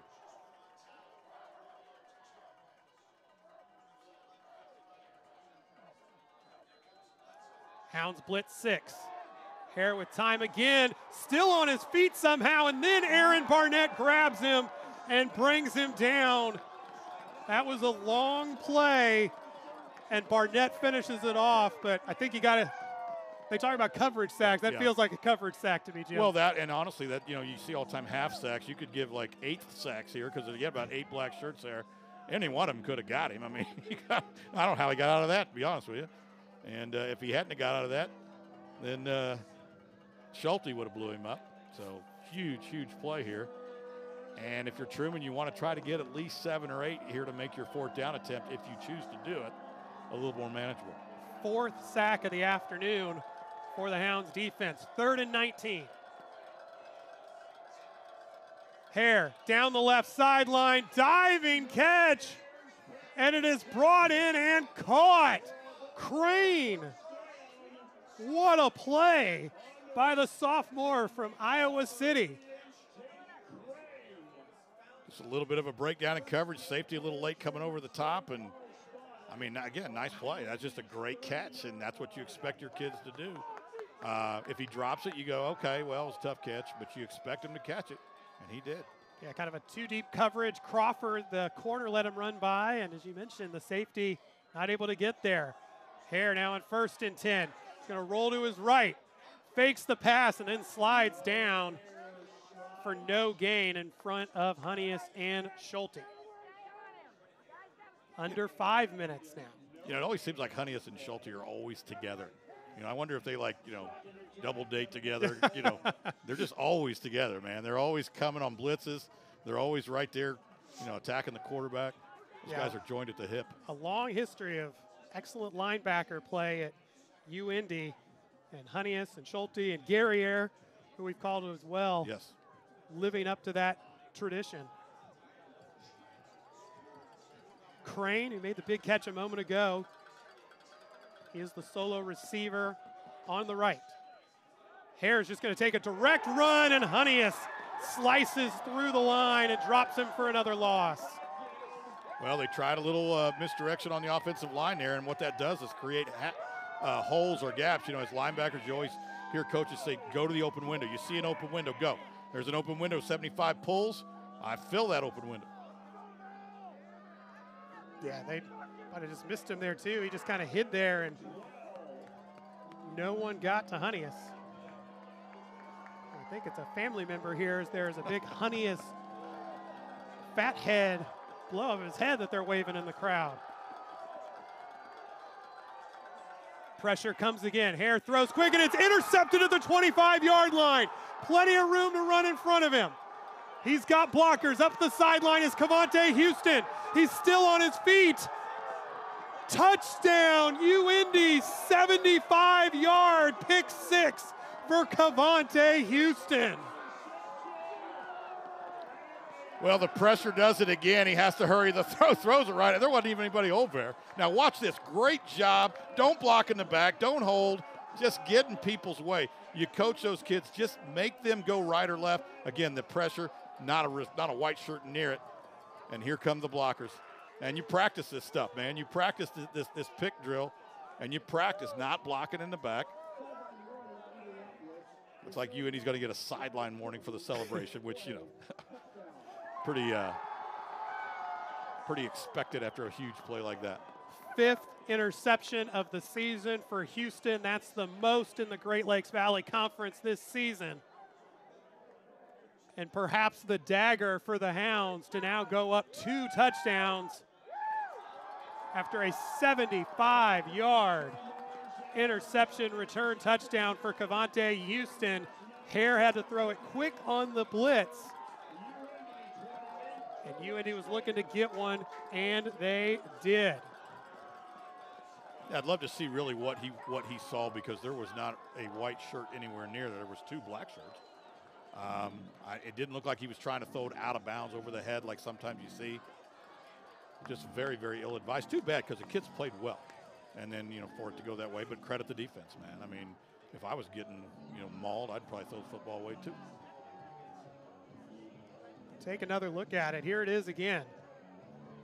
He's just sitting in the zone. The pressure came, and both the there's a guy behind. Maybe Yeah. just not enough. Couldn't get enough on it, trying Yeah. to step into the pass rush. Probably, right? probably right. Yeah, but both, or actually, I think it was a bunch set with three receivers. They all immediately got off the picture. And like I said, one of them did break back. And you're right. There, it probably was the fact that he couldn't get into the throw. But uh, that was just woefully underthrown.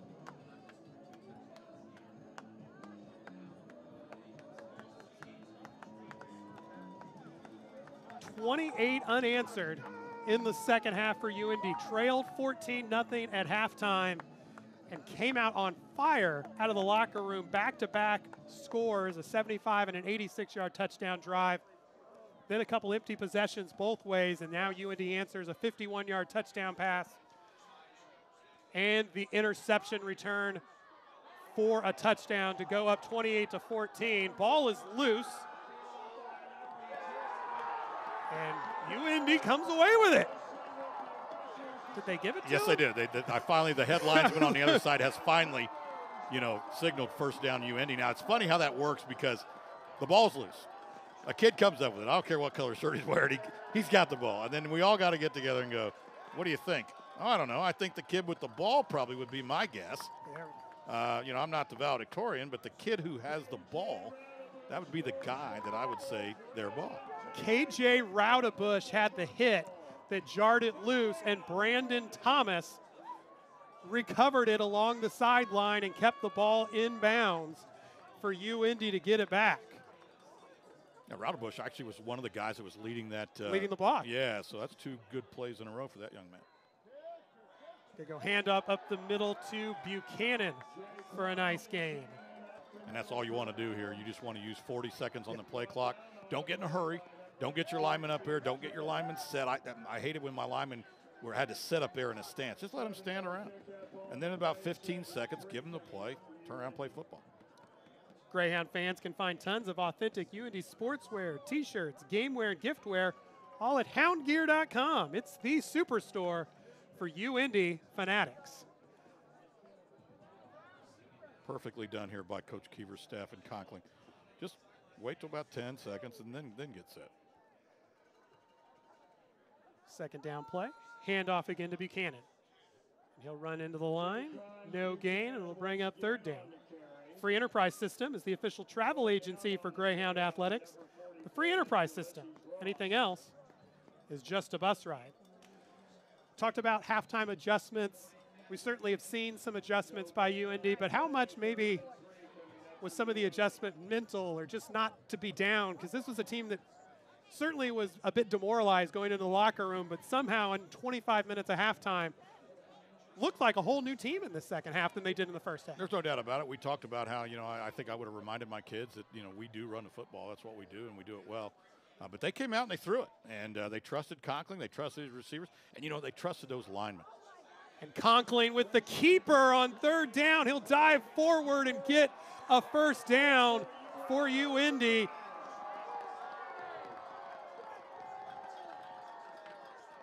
And a huge first down single by Conklin. Celebrate, young man, again. He was the backup to start the year, only became the starter because of the season ending injury to Connor Kennett. And you know, Matt, I, I know the score and, and, I know how to count. And I know that things don't look good for the Bulldogs here, but I'm a little surprised uh, that Coach Nesbitt has not tried to take some time out. They do have all three timeouts. Yeah, and they're just going right home with them, I guess. And with that, Kennett will take it and take a knee.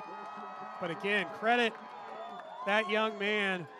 17 of 32, 221 yards, two touchdowns. Comes in unexpectedly to be the starter against Saginaw Valley, throws four interceptions in his first game, gets it back together in conference play, doesn't have a great first half, and two touchdowns here in the second half, and really wills UIndy to victory. Yeah, and to tell you what I know, I mean, I've been saying all, all game that he wasn't much of a running threat. He basically salts the game away with a run. so that's why I'm that's why I'm broadcasting now, not coaching. And a couple huge scrambles in the backfield yeah, to keep plays to alive. keep plays alive, but that'll be it. 28 unanswered here in the second half, and the University of Indianapolis are your 2022 Great Lakes Valley Conference champions. Coach Keevers there and Coach Nesbitt both. You could see a lot of respect uh, right there by those two men. Uh, you know, sometimes those uh, those little coaching handshake lines can be a bit contentious, but uh, that was a lot of respect right there by Coach Keevers and Coach Nesbitt of Truman State. The ninth GLVC championship in school history for the Greyhounds as the Hounds move to nine and one, and now we'll await tomorrow night's selection show to find out where they are going in the NCAA Division II playoffs. Final score 28 to 14. Stick with us. We'll be back in a moment with the Prairie Farms postgame show here on the ISC and GLVC Sports Network. Back in my day, we didn't have inflatables for the kids. They played with sticks and stones, and they liked it.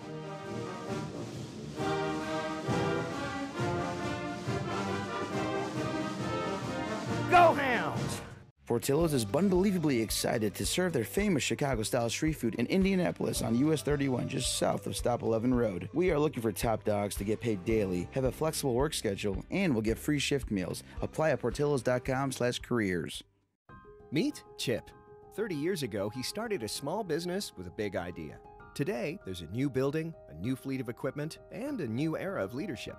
But we know Chip, and at Indiana Members Credit Union, we know he plans to keep growing, building business with the next generation. IMCU is here to help with secure and simple account management tools and commercial financing to grow business. Today, it's all about Chip. Tomorrow, it's all about you. Because at IMCU, it's you that matters. Getting ready for the trophy ceremony is the Great Lakes Valley Conference staff. There's the trophy, there are the championship t-shirts, and you see the final score. Number 14, UIndy, 28. Truman, 14. UIndy winning its ninth Great Lakes Valley Conference championship with 28 unanswered. They went into the locker room down 14 to nothing, and they come out in the second half, hold Truman scoreless, and finally get the offense going you mentioned programs that you got a couple of programs here. You know, how much of that kind of is a program to, to rally again after our first half that, you know, all the emotions of senior day, yep. championship atmosphere, and then you come out and get shut out in the first half to come out in the second half and have uh, the mental fortitude, I guess, to come out and not and, and recognize you got 30 more minutes to play. Yeah, I got to believe that at least one of the coaches made the comment that a lot of men have played here and there's a lot of legacy here, and I'll be dead gone if we're going to let it end like this. Uh, you owe it to these guys who came before you. There may have even been a couple of ex-players in the locker room, uh, you know, uh, kind of urging the youth on. And you see the T-shirts there. I did tell uh, Assistant Asso- Associate AD Ryan Thorpe that I do wear a youth medium, uh, so I'll see if I get one of those. But yeah, I mean that's and, and hats off to Coach Desmond and his staff too. They got a program too. Programs just they don't rebuild; they just reload. I mean, you get kids every year, and and you know you're always playing for conference championships. It seems like they are. Uh, they've won like I think 27 different conference championships in their in their long tenure, and I think I read in the notes where they were second in the conference 16 times. So that's almost 50 conference uh, championship opportunities. Um, yeah, both programs uh, showed well tonight. That was a heck of a football game. You see, Great Lakes Valley Conference Commissioner Jim Naumovich holding the trophy at midfield, and there's head coach Chris Keevers and getting ready to unveil and get ready for the pictures. You see a lot of the families. And there's the trophy in your 2022 Great Lakes Valley Conference champions, the University of Indianapolis Greyhounds. And, you know, again, you mentioned a program and those kind of things, Jim, but, yeah, every every championship year is different. It's a new one of these kids. Yep. You know, and again, it's been since 2019 since UIndy has won the conference championship. So, you know, a little bit of a drought for their standards is everybody getting the pictures, the families, the moms down there. Say hello to my mom in Missouri who's watching.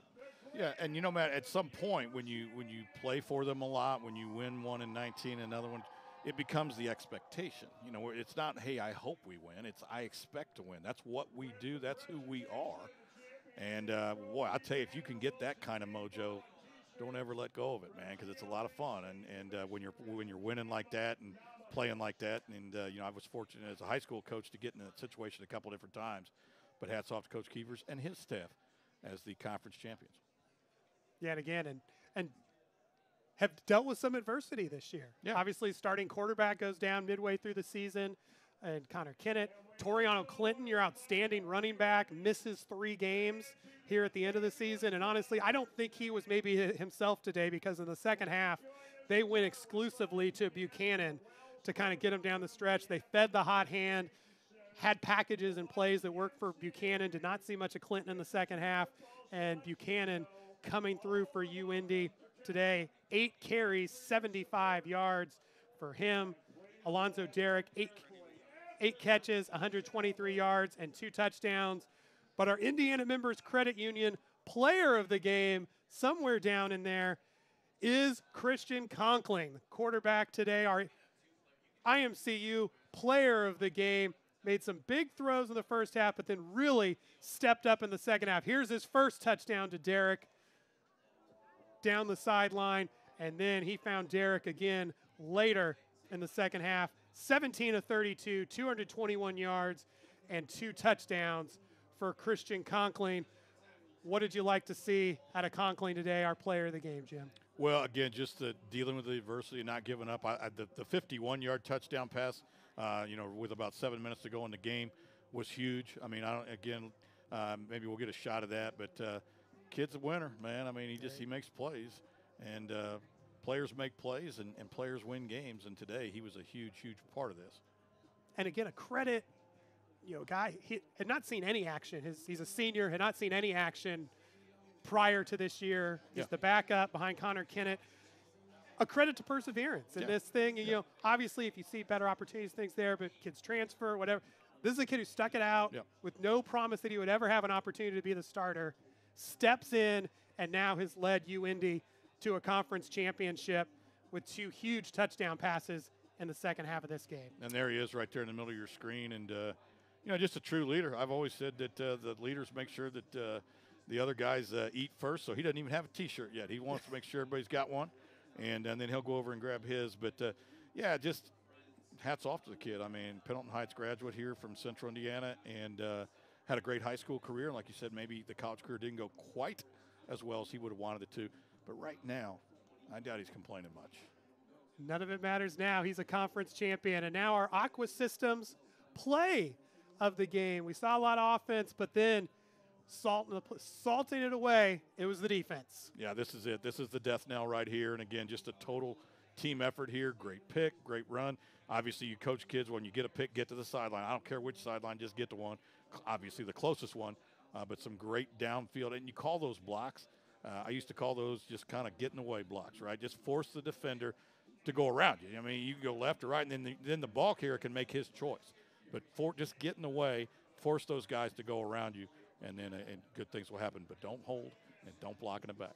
That's Kevontae Houston takes it 70 yards officially on the pick six for UIndy's fifth of the season, leading the GLVC UIndy regular season champions. The season likely not over for Truman as the runner-up that the highest team in the GLVC that does not make the Division II playoffs will go to the America's Crossroads Bowl in Hobart, Indiana, the Great Lakes Valley Conference versus the Great Midwest Athletic Conference. Truman will likely be that representative for the GLVC if they do not make the D2 playoffs against what we think will be Tiffin or Findlay. Jim, I know you did that game last year up in Hobart, so hopefully opportunity that you might get to see Truman here again. But UIndy is your 2022 Great Lakes Valley Conference champion. Jim, a pleasure and glad you're able to get to join us and work with you here this afternoon. I've enjoyed it. There was nothing else I'd rather do on a Saturday afternoon. I had nothing to do and all day to do it. So when you guys gave me a call, I said I would love to. Thank you as well to our amazing crew, the truck, our camera guys. Again, a very cold, snowy day out there and bringing you all these great shots that you were able to enjoy from home. So, a great credit to our crew as we wrap it up here from Key Stadium. UIndy, the 2022 Great Lakes Valley Conference champions. Jim Leisure, I'm Matt Holmes. Thanks for joining us. Have a good night, everybody.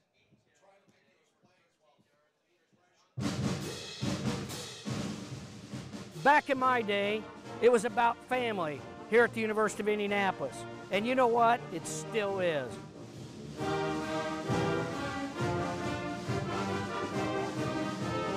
Go Hounds! Meet Zach. Day and night, rain or shine, even just out for a spin, Zach gets around. But we know Zach, and at Indiana Members Credit Union, we know he's been saving up to trade up. IMCU is here to help Zach and you drive your dream. Now get financing as low as 3.49% APR on a new or used vehicle. Today, it's all about Zach. Tomorrow, it's all about you. Because at IMCU, it's you that matters.